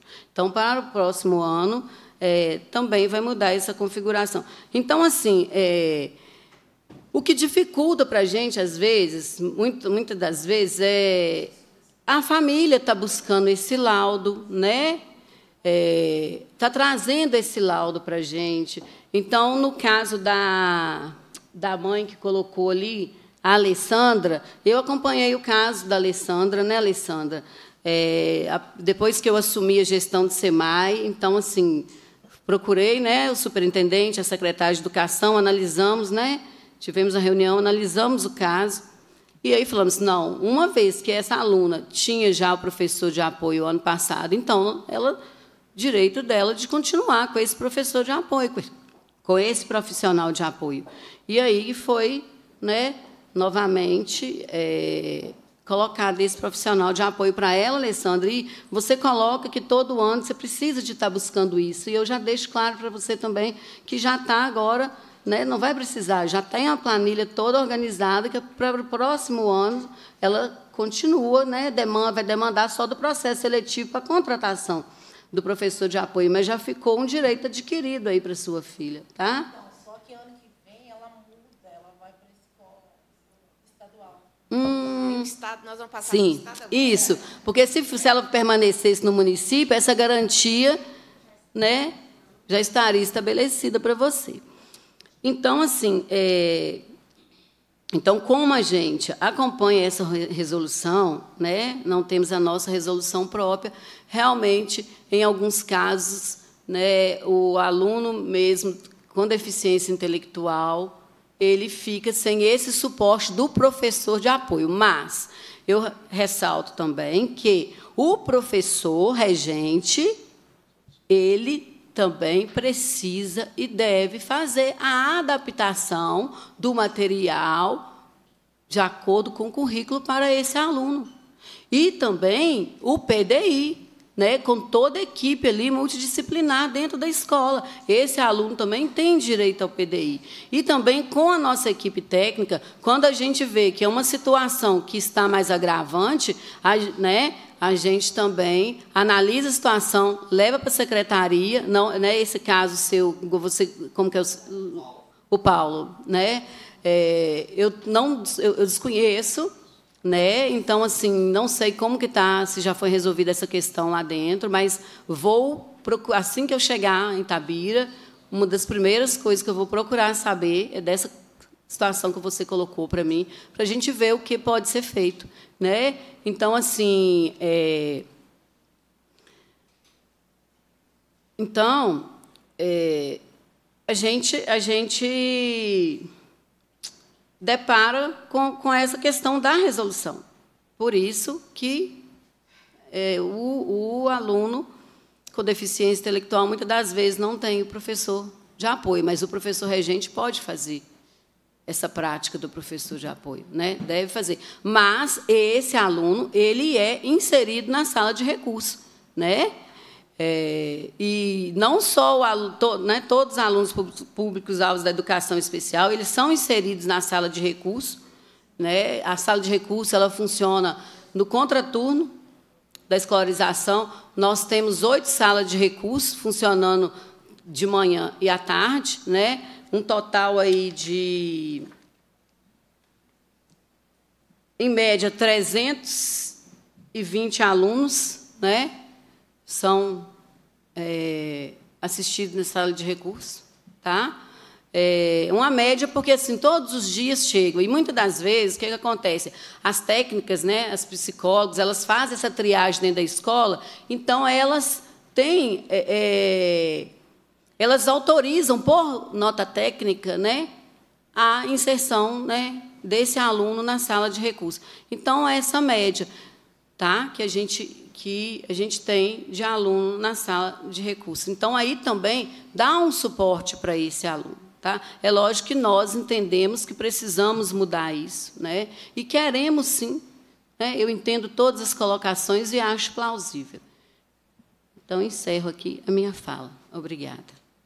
Obrigada, Jones. Eu queria só fazer duas perguntas. Sim. É, tem prazo para é, a publicação de uma resolução do município? Não, ainda não tem prazo. Né? Então, tudo que eu assumia a gestão do SEMAI, né, a Edna, secretária de Educação, me colocou, né, até mesmo é, a Ana Gabriela, igual ela colocou, ela estava lá na Secretaria de Educação também, trouxe isso. Né? Então, a Edna me colocou essa, essa demanda, essa necessidade da gente estar alinhando isso, tá? Ainda não tem uma data definida, mas precisamos sim resolver isso em breve. É, eu pergunto até porque é, na na, no documento, na correspondência do promotor, é, ele cita é, decisões de duas é, ações civis públicas, uma contra o Estado e outra contra o município. E aí ele, ele faz uma síntese aqui daquilo que. Vamos. Aqui, ó, ele fala da. É, vou ler novamente, que eu acho Sim, que. que pode deixar. É, ele fala, é, na, senten na, sentença da ação civil pública contra o Estado, aí tem o número do processo, o ente público foi condenado a reordenar. É, bom, primeiro, uma observação antes.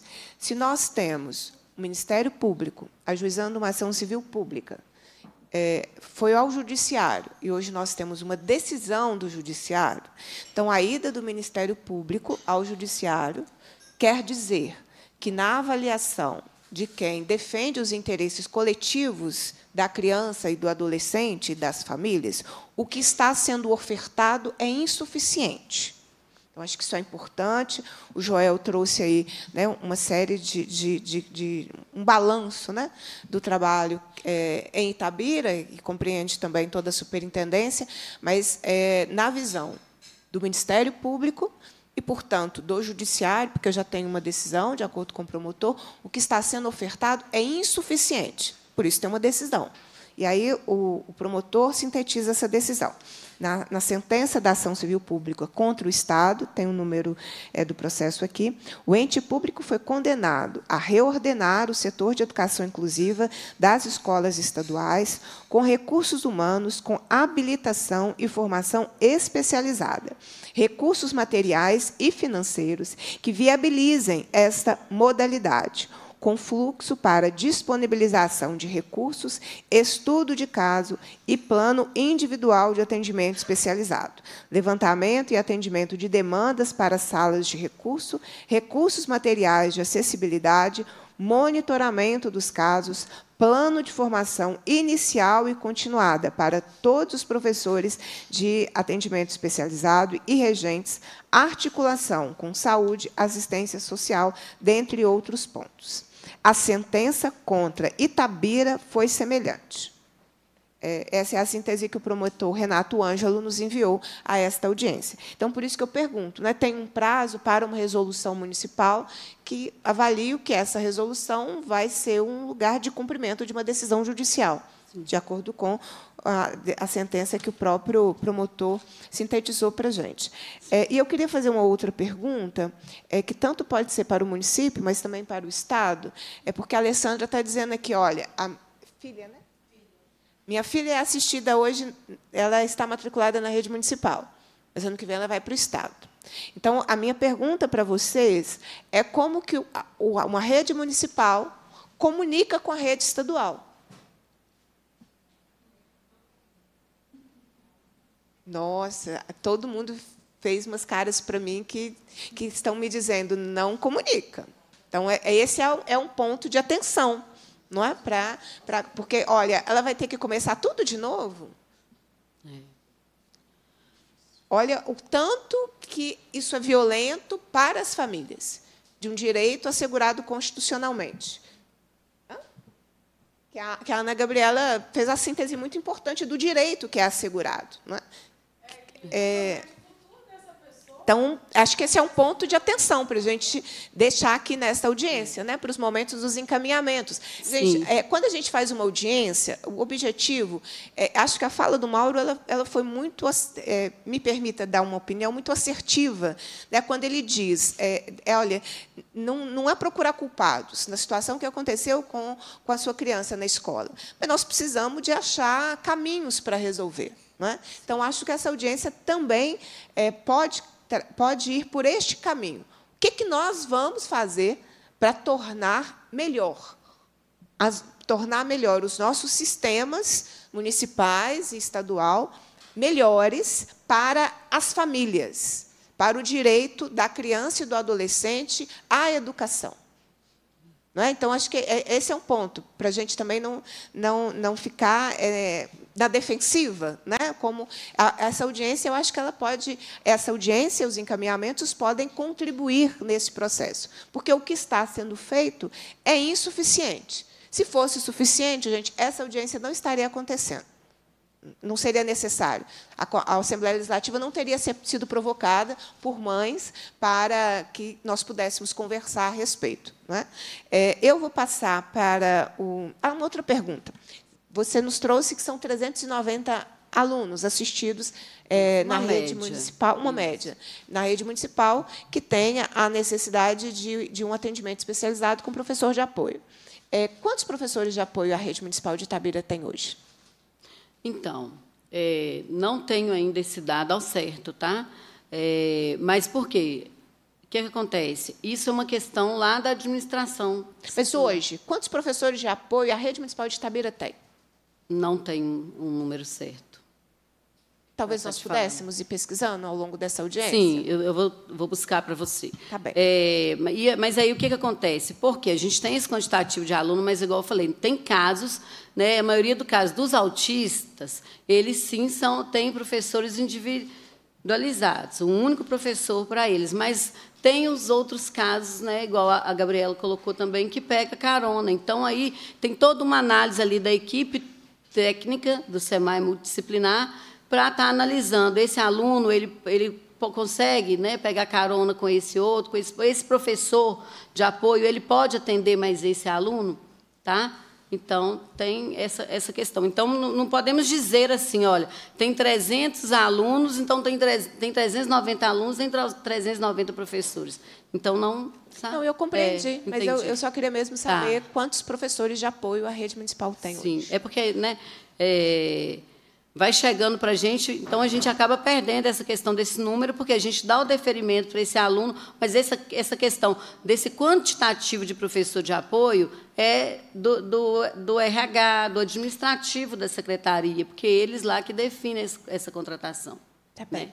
Nós vamos passar agora, agradecer a Jeane, nós vamos passar agora as considerações para a Superintendente de Políticas Públicas da Secretaria de Estado da Educação, a Roseli Lúcia de Lima, para a sua contribuição. E aí, depois da Roseli, gente, nós temos duas inscrições é, de quem está acompanhando a nossa audiência que deseja falar e a gente vai passar a palavra, tudo bem? Roseli, com a palavra. Obrigada, bom dia a todos e todas. Eu começo com a minha Audiodescrição: eu sou uma mulher parda, de cabelos pretos, uso óculos e hoje eu estou vestindo uma blusa verde com laço no pescoço. É, frente a tudo que a gente escutou nessa manhã, eu gostaria de ressaltar a importância é, desse debate. Eu acho que é muito do lugar de Secretaria de Educação, é, onde a gente, é, nesse momento, tem a oportunidade de ouvir falar da educação especial na perspectiva inclusiva, é, sobre outros olhares. Né? Isso é muito importante para a Secretaria, para que a gente consiga levar isso e melhorar o nosso trabalho é, no dia a dia. É, eu começo por trazer os apontamentos do promotor Renato Ângelo, acho que são muito importantes, sim, e eu gostaria de recebê-los também enquanto encaminhamento é, para a secretaria. Eu corroboro com a professora Ana Gabriela é, quando ela fala da fragilidade da nossa formação. Eu sou professora da rede, Ana, e entendo esse lugar dessa fragilidade. E hoje é, a gente, enquanto possibilidade é, para que a formação contínua e continuada dos nossos profissionais aconteça. Ela, como bem colocou o Joel, ela está acontecendo via CREI, onde a gente tem esse centro de referência em cada localidade, em cada é, regional, com profissionais exatamente para que essa formação aconteça é, frente é, a esses profissionais, que são profissionais, é, em maioria, contratados, onde a gente é, tem né, é, muitas vezes trocas e troca o estudante e a gente entende né, a especificidade é, do estudante na sua necessidade e a necessidade contínua de formação do professor. Então, é isso que acontece. Também o Joel traz de maneira bastante clara é, essa nossa organização. Quando você coloca é, a organização de rede estadual e com a rede municipal, a Superintendência Regional de Ensino vai atuar exatamente nesse lugar é, para que a gente consiga né, ter essa articulação entre Estado e município e atender os nossos estudantes naquilo que é de direito. Eu acolho o que o pai trouxe, o que a mãe trouxe, o que a outra mãe é, trouxe, entendendo que a gente, sim, enquanto rede, a gente tem algumas fragilidades nesse atendimento e que a gente precisa, sim, avançar. É, também corroboro com o que a Secretaria Municipal é, aqui traz, da gente levar para esse lugar de diferenciar é, a deficiência da dificuldade de aprendizagem. Isso a gente tem muito na rede, e eu acho que a gente precisa também avançar na formação dos nossos profissionais para que isso fique de maneira mais tranquila e o trabalho ele seja feito de forma mais eficaz. É, estamos trabalhando nisso e eu me coloco à disposição para levar todos esses encaminhamentos todos esses apontamentos que aqui foram feitos para que a gente consiga, enquanto Secretaria de Educação, melhorar a nossa oferta e garantir os direitos dos nossos estudantes. Obrigada. Obrigada, Roseli.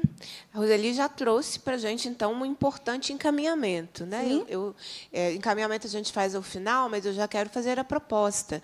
É, a gente vai ouvir nossos é, nossos participantes, tem duas pessoas inscritas, mas acho que a gente já pode tirar como um encaminhamento, ainda para este ano, é, eu falo ainda para este ano, nós estamos em setembro, mas parece que o tempo ele tem ritmo próprio está muito acelerado, mas ainda este ano, uma nova audiência em que a Secretaria de Estado da Educação traga essa devolutiva do que será feito diante, inclusive, de uma decisão judicial, é, dessa necessidade de, uma, de um diálogo entre municípios e Estado, no que se refere ao atendimento às crianças e às famílias, e quais são as mudanças disso para o próximo ano letivo. E aí a gente faz é, uma nova audiência numa perspectiva estadual mobilizando, inclusive, essa pauta a nível estadual. Eu acho que já pode ser um encaminhamento para a gente ter retorno né, para a gente ter uma continuidade, que eu acho que isso é muito importante no processo. E como a Roseli já trouxe o compromisso né, dela levar tudo o que está sendo apontado nessa audiência, então a gente marca uma nova audiência de devolutivas, para pensar como será 2025 na rede estadual e esse 2025 na rede estadual em diálogo com as redes municipais para o atendimento de todas as crianças que precisam desse é, apoio, inclusive o professor de apoio é, na nossa rede estadual. É, mas nós temos duas pessoas inscritas. Podemos ouvi-las? Então, é, a Soraya. Cadê a Soraya? Soraya é, não tem nada mais mineiro do que cadê, né? Aliás, o Arreda é mais mineiro do que o cadê. Eu, eu, eu, eu, eu não consigo me, me livrar de, desses nosso, desse nosso jeito mineiro. Nem quero, né? Me livrar. É, mas então nós vamos passar a palavra para a Soraya Vieira, que é diretora de Educação Inclusiva da Secretaria de Educação de Contagem. Soraya, agradeço muito a sua presença e te, e te passo a palavra para as suas considerações. É, bom dia a todos presentes. Bom dia. É, eu quero falar rapidamente enquanto diretora, né, trazer alguns dados aqui de contagem, e depois eu gostaria de falar enquanto mãe atípica. É, em contagem, eu estou como diretora há quase três meses, e hoje nós temos cerca de 2.491 estudantes com deficiência, crianças e estudantes com deficiência. Temos mais ou menos cerca de 860 monitores, fora os técnicos de enfermagem, porque nós também oferecemos esse serviço para a escola, para aqueles estudantes né, que às vezes precisam de uma medicação, que vão para a escola com sonda. Então, tem o técnico para acompanhar e temos quase até o fim do ano todas as escolas já com atendimento educacional especializado. E desses estudantes com deficiência, 66% são autistas. Então, esse número é atualizado constantemente, a gente recebe matrículas né, todos os dias. E É, e tem também os cuidadores. Então, a gente tem né, uma gama muito grande de profissionais. E eu falar para vocês, é pouco, porque todos os dias chega pedidos profissionais, laudos novos, diagnósticos novos. Então, a gente precisa atender a demanda desses estudantes. Eu estava ouvindo, ouvindo aqui as falas, né, tentando linkar algumas coisas. É, a Gabriela falou muito sobre a questão, né, falou sobre o PDI. Eu penso a questão da formação. É, muito se resolveria se os professores tivessem uma capacitação. Ela só soube do dos estudantes com DI depois de dois meses, né, quando foi dar a prova bimestral. E os professores, eles, eu não sei por que há uma resistência nessa formação. Hoje a gente encontra formação no YouTube, umas muito boas, umas realmente não prestam, mas muito boas. E ontem eu participei de uma formação que era para a comunidade, professores convidados, e no final chegaram dois professores apenas. Então, assim, alguma coisa precisa ser feita, de repente, um, sei lá, se fosse imposto, não sei como. Mas professores que se recusam a fazer um PDI, é, professores que não entendem, se recusam a fazer uma adaptação, e muitas vezes uma adaptação que vai ser uma coisa simples, né? Tem sempre o, aquele discurso do professor, falo porque eu ouvi isso muito, não estou preparado, não fomos preparados. Né? E eu falo, eu também não fui preparada para ter dois filhos autistas. Eu aprendi na marra, eu estou aprendendo na marra. Nenhuma das mães aqui, o pai atípico, foi preparado para ter um filho atípico. Né? Então, assim, nós estamos aprendendo. Eu falo que quando nasce um, vou falar, de, falar do autismo aqui, nasce um filho autista numa família, nasce uma mãe pesquisadora porque a gente não tem condições de pagar uma terapia aba, a gente vai estudar para poder ajudar o filho em casa.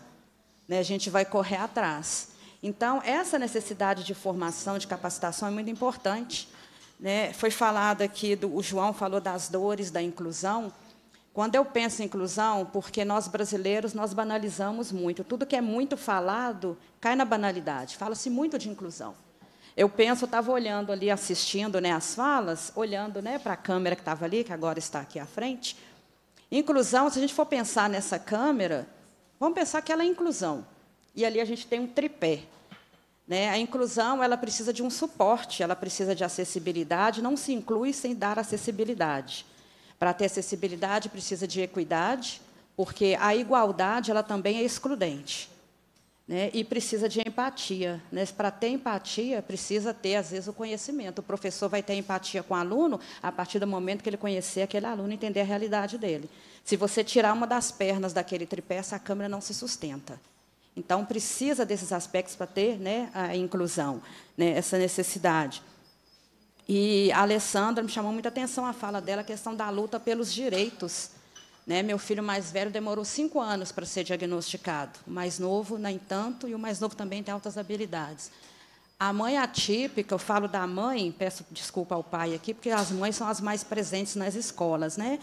É conhecida como a mãe briguenta. Se você manda uma mensagem para a escola, precisa conversar com a professora, você chega lá, já tem todo um circo armado. Tem professor, tem diretor, tem todo mundo, de repente já vem, o que, é que ela quer? né? Porque a gente consegue as coisas é na briga, é chegando lá com a lei mostrando, a lei diz isso, a lei é assim, eu quero, eu exijo. Porque se não for assim, a gente não consegue. Né? Então, eu acho assim que realmente a inclusão, né, como o João falou das dores aí das experiências, a gente tem que pensar muito nisso, garantir o acesso. Mas aí a criança acessou, como que ela vai permanecer? Só acessar não é o suficiente, né? a permanência é importante. E eu brigo muito pela questão das adaptações. Gente, a gente precisa tem o público-alvo da educação, mas tem aqueles que não são público-alvo da educação, que a Gabriela citou bem, né, os transtornos de aprendizagem, mas também estão lá nas escolas, largados, porque o professor não consegue adaptar uma prova para um aluno que tem dislexia, que tem TDAH. Então, a gente precisa realmente repensar essas questões da, da inclusão, o que, é que pode ser feito para além, porque só falar em inclusão, né, a pauta hoje, né, então, assim, inclusão né, ela é muito dita, principalmente nos períodos eleitorais, fala-se muito da inclusão, né, mas ela tem que ser vivida todos os dias. E é só isso. Obrigada. Eu que te agradeço. Obrigada. Nós vamos ouvir agora a Heloísa. a Luísa Cristina. A Luísa é graduanda em Pedagogia da Universidade Federal de Minas Gerais e membro do Movimento Brasileiro de Mulheres Cegas e com Baixa Visão. Olha só, Luísa, antes da sua fala, eu vou te pedir licença para chamar a atenção é, para o quanto a nossa linguagem não é inclusiva. Eu estava comentando a, com a Alessandra aqui. É, eu tenho um cotidiano de comissões, de atuação aqui na Assembleia muito muito diário. Né? Então, nós começamos essa audiência, eu não fiz a minha autodescrição.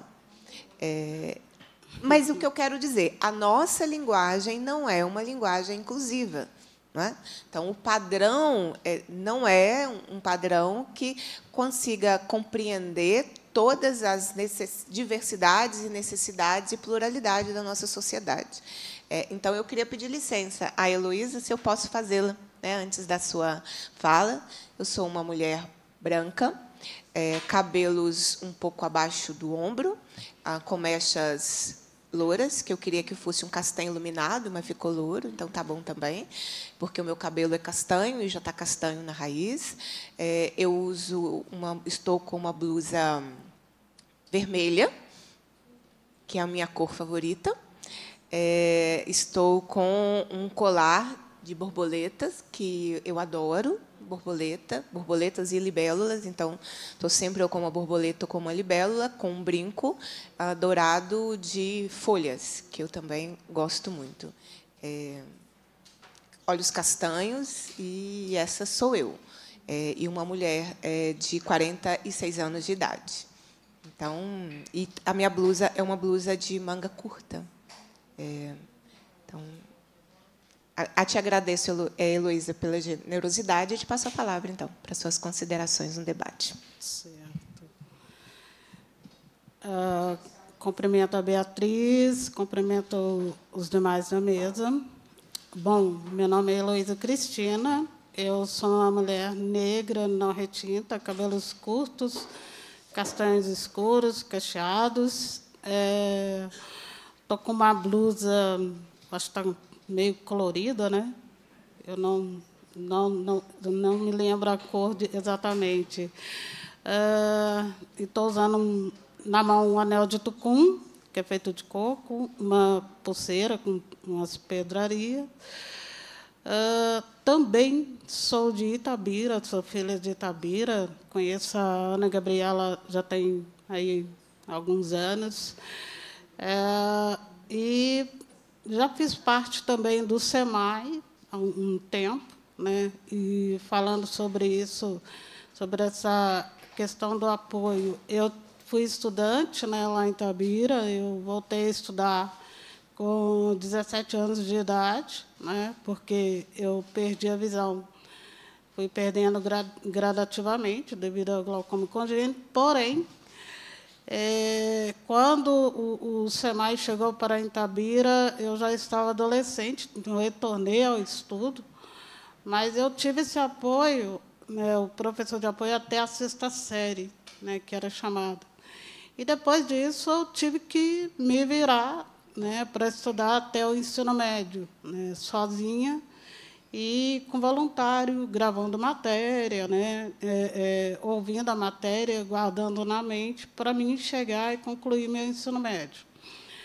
E, posteriormente, eu, eu estudava sozinha em casa, né, como a pessoa anterior falou, é, eu estudava sozinha, muita coisa eu buscava no YouTube né, para estudar, para mim poder é, conseguir fazer o Enem, Hoje eu estou graduando pedagogia na UFMG, mas lá dentro também eu tenho encontrado bastante dificuldade para poder conseguir estar tá estudando, estar tá concluindo as disciplinas. Inclusive lá tem uma disciplina é, de inclusão, né, que eu acho assim muito pouco. E alguém referiu também, falou da questão da, da disciplina de Libras, né? que é. É, Para mim, não é, porque não é uma disciplina. Né? Ela não dá continuidade e ela não está na grade de currículo. E o Braille também não. Então, o professor pedagogo, que ele vai sair dessa disciplina, dessa faculdade, ele não vai sair totalmente graduado. Né? Ele vai ter que correr atrás, por conta própria, de outras questões, de outras disciplinas, para ajudá-lo a concluir o seu currículo e poder é, dar essa, essa, essa assistência necessária para esse aluno com algum tipo de deficiência, em suma, deficiência visual, que é a minha, com, com dignidade. Né? E, e outra coisa que, que tem também é essa diferença que, às vezes, a, é, a moça que falou anteriormente, é, ela até já falou que eu queria falar, que é essa capacitação que eu acho que deve ter. Né? Essa é, questão contínua, essa ligação é, periódica que tem que ter entre o Estado e o município e a capacitação, né? sempre ir lá e, e, e atualizar essa capacitação, porque as coisas mudam. Né? Inclusive as tecnologias assistivas que vira e mexe está atualizando, né? E a gente encontra muita dificuldade na fase de transição da baixa visão para a visão total. Então, talvez o apoiador que está ali, ele não vai entender, ou também não vai perguntar para o aluno se ele está tendo dificuldade de ler uma letra ampliada, né? ou se ele já está perdendo, porque isso aconteceu comigo. Então, é, é muita coisa que acontece que, às vezes, não chega e não tem esse diálogo com o apoiador, com o aluno, com o município, com o Estado, e não tem é, essa investigação é, contínua para a gente poder é, dar apoio a esse aluno, mas também dar suporte quando ele precisar. Né? Porque uma coisa é eu começar a estudar desde a primeira série, mas eu quero chegar lá no meu ensino médio, continuando com esse apoio, mas eu quero fazer uma faculdade também. Então, isso, para muitos alunos lá em Tabira, que eu sei de muitos colegas lá, eles não têm essa perspectiva de, de querer fazer uma faculdade, porque não vai ter professor de apoio, não vai ter ninguém lá que vai apoiar, né? principalmente materiais também. Então, isso para a gente é, além de ser um, uma coisa muito é, frustrante, né? a gente perde muito tempo, a gente demanda muito tempo, porque, querendo ou não, para a gente, além de materiais ser tudo caro, né? É, é, tudo que a gente precisa, tecnologia assistiva, é, outras questões são caras, é, o também o, o professor de apoio ele precisa ser é, orientado e capacitado. Né? Eu acho que muitos já falaram e me contemplaram aí com as falas, e acredito também que, quando essa legislação for feita, que se escute também a pessoa com deficiência, porque ela também tem muito a dizer. E ela sabe de suas necessidades, do que ela está precisando, quais as dificuldades que ela está tendo no momento. Né? Eu acho que é isso. Obrigado pela fala. Nós que te agradecemos é, pela contribuição. É, ouvindo a senhora, eu me lembrei de que nós construímos um projeto de lei sobre é, uma política estadual para pessoas com deficiência nas universidades estaduais. É, e essa, esse projeto de lei, de minha autoria, ele veio exatamente, eu fui provocada é, por estudantes que viram que estão lá né, na UENG ou na Unimontes e viram as, as restrições, as limitações e, portanto, a exclusão a que eles são submetidos. É, porque é, é onde a gente pode legislar né, para as universidades do Estado e, ouvindo a sua fala, acho que valeria a pena também a gente resgatar essa discussão, trazendo a UENG e a Unimontes para esse debate, que é um projeto de lei é, sim, mas aí no caso é, o projeto de lei ele é um projeto de lei no âmbito do Estado, né? Mas eu acho que a gente pode trazer as universidades federais, institutos federais, para ver como que eles, à luz das, das, suas, das suas possibilidades, também podem mudar essa realidade. Acho que vale a pena a gente trazer esse debate em audiência pública específica em relação ao ensino superior. Então quero agradecê-la, que acho que pode ser um encaminhamento dessa audiência. Gente, nós ouvimos todas as pessoas convidadas e todas as pessoas que se inscreveram para fazer uso da palavra. Chegou aqui para mim que era a Soraya e a Heloísa que queriam falar. É isso mesmo? Mas alguém quer fazer alguma consideração das pessoas que estão aqui nos acompanhando? Tá. Então, eu vou passar novamente a palavra para o João, é, e aí já, já compartilha a nossa proposta de encaminhamento. É que nós façamos. É, eu acho que vale a pena nós elaborarmos um documento para subsidiar, inclusive, esse retorno que a gente quer da Secretaria de Estado da Educação. Então, estou querendo propor isso como sugestão. A gente construir um documento, encaminhar é, como resultado dessa audiência, é, encaminhar à Secretaria de Estado da Educação é, dos pontos que nós avaliamos que a Secretaria tenha que alterar ou que tenha que é, é avançar né, é, em relação a essa importante política que todos disseram aqui das suas, de, das suas deficiências, né, da política.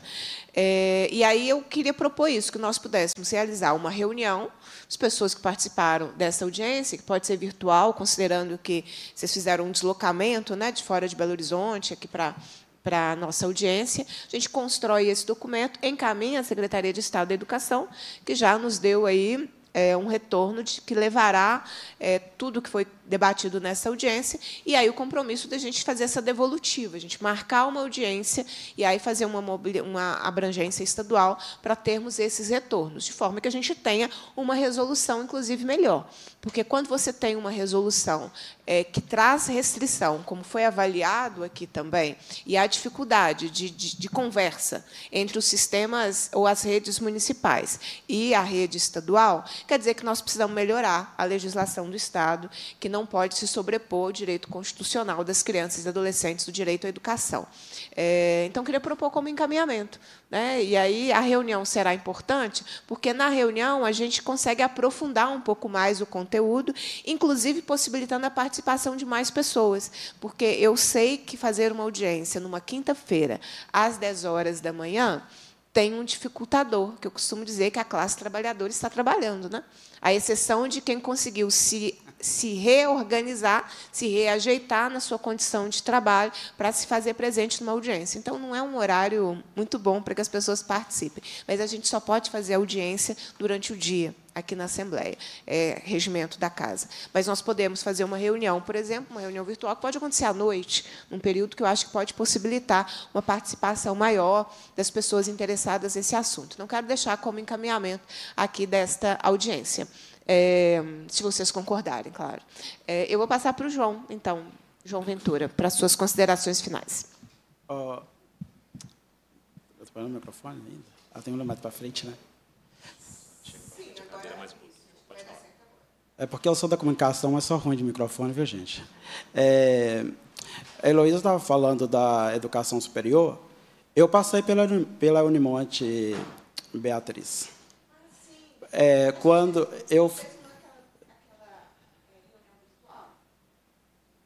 é, eu passei pela Unimontes, mas foi em 2011. É, como a gente fala de educação e de inclusão, a educação é tripartite, né?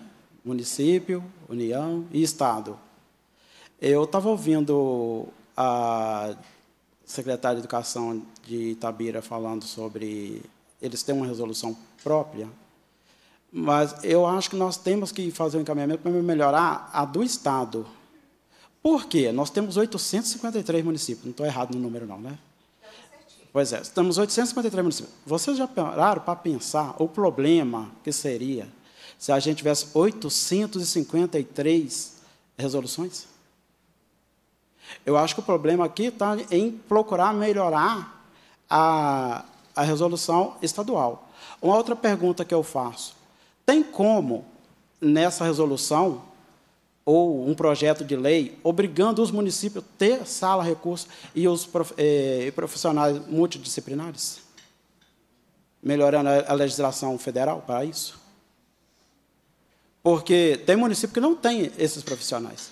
Por isso, tem crianças que nem diagnóstico têm, estão soltas nas escolas. E os pais sendo chamados de chato ou de briguento, como diz a Soraya. Eu falo isso porque eu sou pai e tenho um filho prestes a ser diagnosticado. Não tenho o diagnóstico fechado. E nós passamos esse problema. Agora, voltando ao ensino superior, eu acho importante, porque é muito. Dar acesso é fácil, mas tornar o ensino acessível é que está o problema. Igual eu estava falando que eu passei pela Unimonte, quando eu passei por lá, eu fui falar da, da LDI, porque não tinha a LBI ainda, que é a Lei Brasileira de Inclusão, e tenho a Constituição, que é a Carta Magna, que é a soberana. Um professor falou comigo que, que, que o Estado nem tinha obrigação de me dar o apoio, de me fornecer material eh, para eu estudar. Né? Na época. E lá tinha o NUSE. Nós quebramos o pau, assim, democraticamente, numa discussão na sala. No outro dia, ele voltou para pedir desculpa. Ele foi ler a LDI. E ele era um professor com doutorado, com mestrado, e não atentava para esse problema, que é um problema socio, social que nós temos no nosso país. E, e essas pessoas precisam de ocupar espaços. E por isso que é importante trazer a Universidade Federal também para o debate, os institutos federais. Eu sei que tem a legislação federal é, e são de outra competência, mas também inclusive deputados do seu partido, nós temos o Reginaldo Lopes, temos o Rogério Correia. A gente podemos trazê-lo para uma audiência é, de nível estadual, mas discutindo também o ensino superior como um todo. No nosso, pode partir do nosso Estado para uma, um, uma norma nacional. Eu acho que é importante, que, igual estou falando, dar acesso é diferente de ser acessível, de, de manter as pessoas no espaço onde elas chegaram. Chegar lá é difícil, mas permanecer é mais difícil ainda. Por exemplo, a Universidade Federal. Você chega é, lá para pedir um apoio, você é tido como chato, e nem sempre tem um apoio, porque quer tratar todo mundo com, é, de forma única. Não é, gente. Cada um tem a sua necessidade, tem a sua especificidade. Que são seres humanos diferentes. Vive, viemos de lugares diferentes. A Heloísa nasceu em Itabira, morou em Itabira, é deficiente visual. A única coisa que nós temos em comum é a deficiência visual. Eu nasci na roça. Vivi até os 17 anos na roça, andando 8 quilômetros para estudar, para fazer a minha, é, a minha, a minha, até a quarta série. Depois andava sete para ir para, para Lagoa Santa, para dentro da cidade, para estudar, para fazer o ensino médio. Eu fazia, terminar a oitava série, na verdade, que eu não consegui fazer lá. Eu tive que vir aqui para São Rafael. Aí era outro problema. Por isso que eu estou falando, temos que repensar o modelo de educação especial no Estado e, de educação, e da inclusão. Porque a inclusão é muito ampla. Aí está no receber o aluno, como mantê-lo ele lá, como capacitar os profissionais para atender esse aluno. E até depois que a, gente, que a gente precisa de participar nos espaços. Por exemplo, cheguei aqui na Assembleia hoje, a gente encontra a pessoa me pegando por braço assim, para tentar me colocar, colocar a minha mão no ombro da pessoa. Eu falei, não, a pessoa que está do meu lado tinha que conversar comigo, eu pegar minha mão e colocar no ombro dela. Eu fui falar, a pessoa não gostou. É, um, é um, uma pessoa que está na Assembleia para dar nós acesso quando nós estamos chegando aqui. Então, a inclusão é muito mais ampla. É parte da legislação e tudo, e principalmente do respeito a essas pessoas. E já está na agenda 2030, né? Nada para nós sem nós. Por isso que temos que consultar as pessoas com deficiência, pai de pessoas com deficiência. É isso que eu teria para falar, para complementar a fala. E obrigado. Eu que te agradeço. É, mais alguém quer fazer alguma consideração? Por favor. Eu quero, uhum. eu quero fazer uma consideração e informar primeiro que tem uma pergunta lá no chat. Tá. Então tá bom. Então. Ok. É, eu fui anotando algumas coisas durante a fala e eu estava comentando agora ali com a Gisele é, da. Ah, não lembro do, qual que é a função dela na, na Assembleia. É, oi? Da TV Assembleia que eu preciso de um curso intensivo de comunicação inclusiva, porque se tem uma pessoa que não dá conta de ser objetiva, essa pessoa sou eu. E aí as pessoas com TDAH não têm paciência para me ouvir, as pessoas com deficiência intelectual têm dificuldade de me entender. É, não sei se as deficiência visual também tem. Tem, Heloísa? Tem, João? Porque eu não, não sou objetiva. Está vendo o tamanho do tempo que eu estou gastando para falar? É, é muito difícil. Eu preciso de um curso intensivo, mas vamos lá. É, sobre as sentenças, eu queria saber se o Estado ou o município recorreu, porque é possível, tá? Foi uma sentença de primeira instância. E se não recorreu, é, qual que é o planejamento para cumprir? Porque uma sentença é para cumprir, né? Uma sentença é para cumprir. É, a segunda coisa, são, são só quatro coisas. A segunda coisa é que eu gostaria muito, Beatriz, de, como encaminhamento da comissão, fosse discutida na comissão a elaboração da política estadual é, de educação inclusiva ou para educação inclusiva, eu não sei que nome dar né, nessa sugestão. É, e para dar não só uma questão de, da normativa para a rede, né, mas também para poder ouvir as pessoas com deficiência, porque é como a Heloísa João falou, nada por nós sem nós, é o lema dos movimentos das pessoas com deficiência e tem que ser respeitado. É, vocês viram aqui como que foi importante as mães e o pai atípico falar?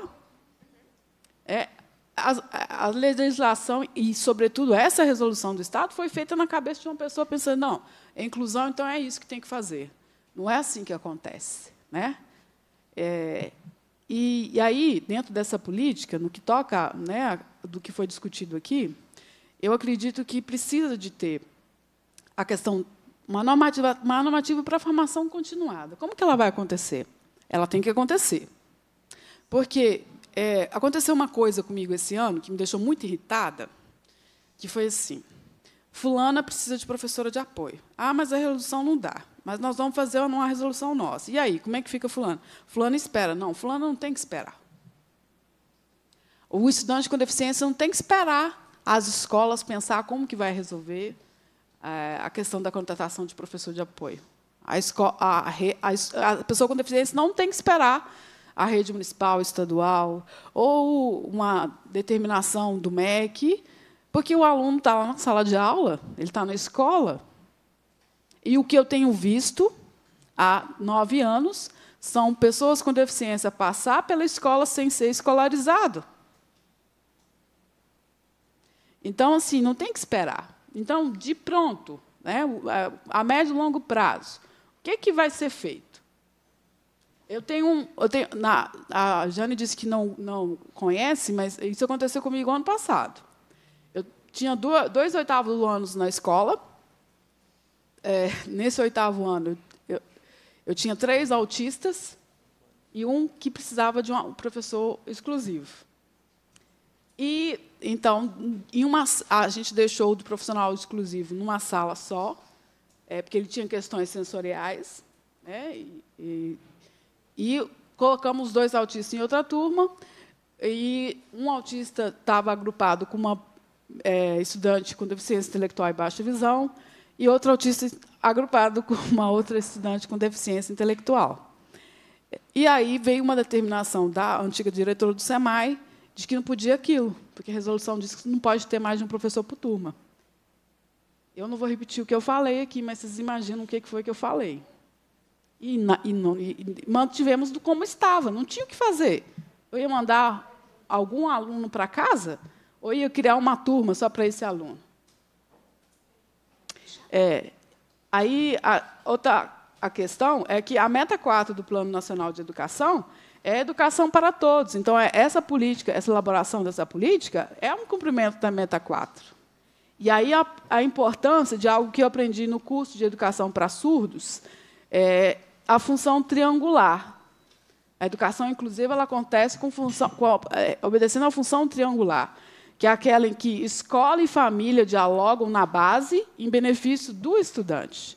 A decisão sobre qual profissional a contratar, profissional de apoio, professor de apoio ou monitor, tem que ser de, de, tomada não por, pelo Centro Municipal de Educação, ou pela secretaria, ou pela superintendência, mas em diálogo com a família, que conhece o estudante no dia a dia e vê a necessidade escolar que a família não enxerga.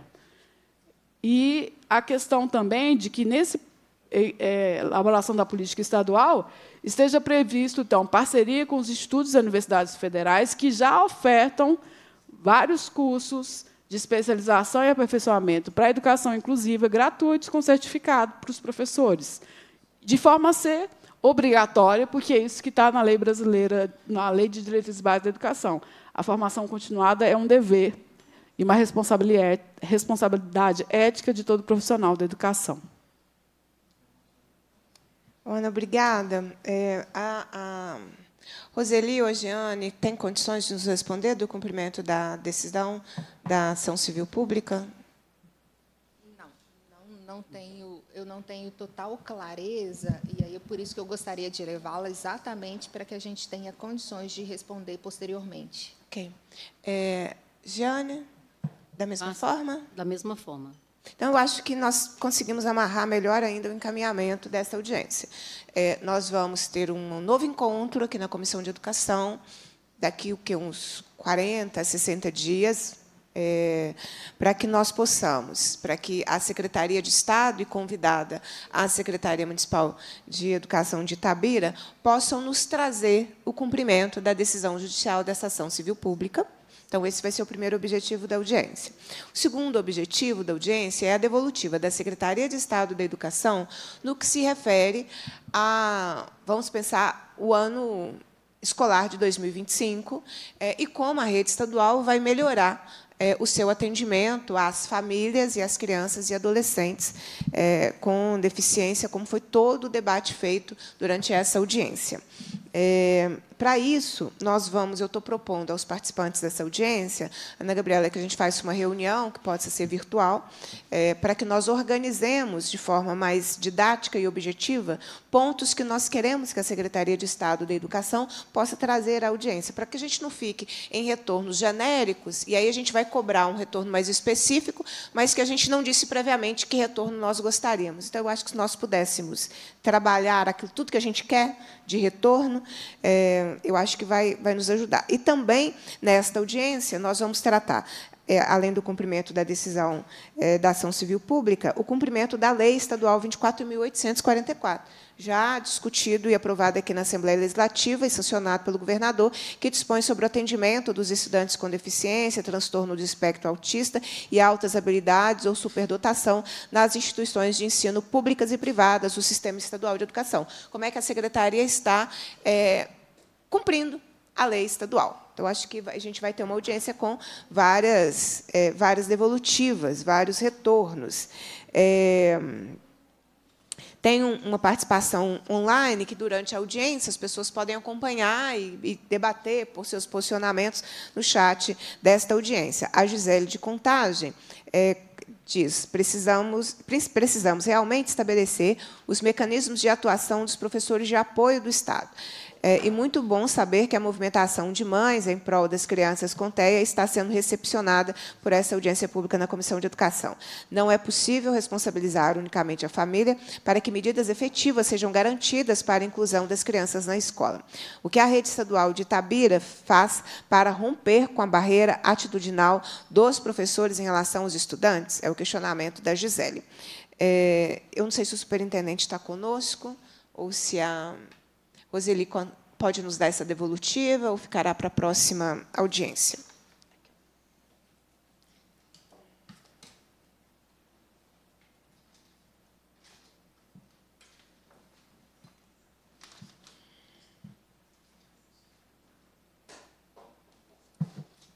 Eu vou encaminhar também, Roseli. É, eu ia ler, mas é, eu não. Eu, eu acho que eu não tenho autorização é, das famílias que fazem contato com o nosso mandato para expor né, situações que elas levam diretamente ao gabinete. Então, não vou fazer a leitura, mas eu vou encaminhar todos os, é, todas as questões que nós já recebemos de famílias que são graves. Então, bem eu acho que é, é, é, as famílias ficam sendo vítimas de violência do próprio sistema, sabe, de educação, quando elas relatam tudo que elas relatam para a gente e pedem ajuda, na verdade, né? Porque quando recorre ao mandato de deputado estadual é no sentido de pedir ajuda mesmo para resolver. Então eu também vou encaminhar tudo que nós recebemos esse ano é, e faço especial atenção, é, inclusive escolas do Somar né, que eu também recebi demandas, somar aquele esquema de privatização que a gente tem da rede estadual aqui de Minas, de demandas relacionadas aos, à não oferta de professor de apoio.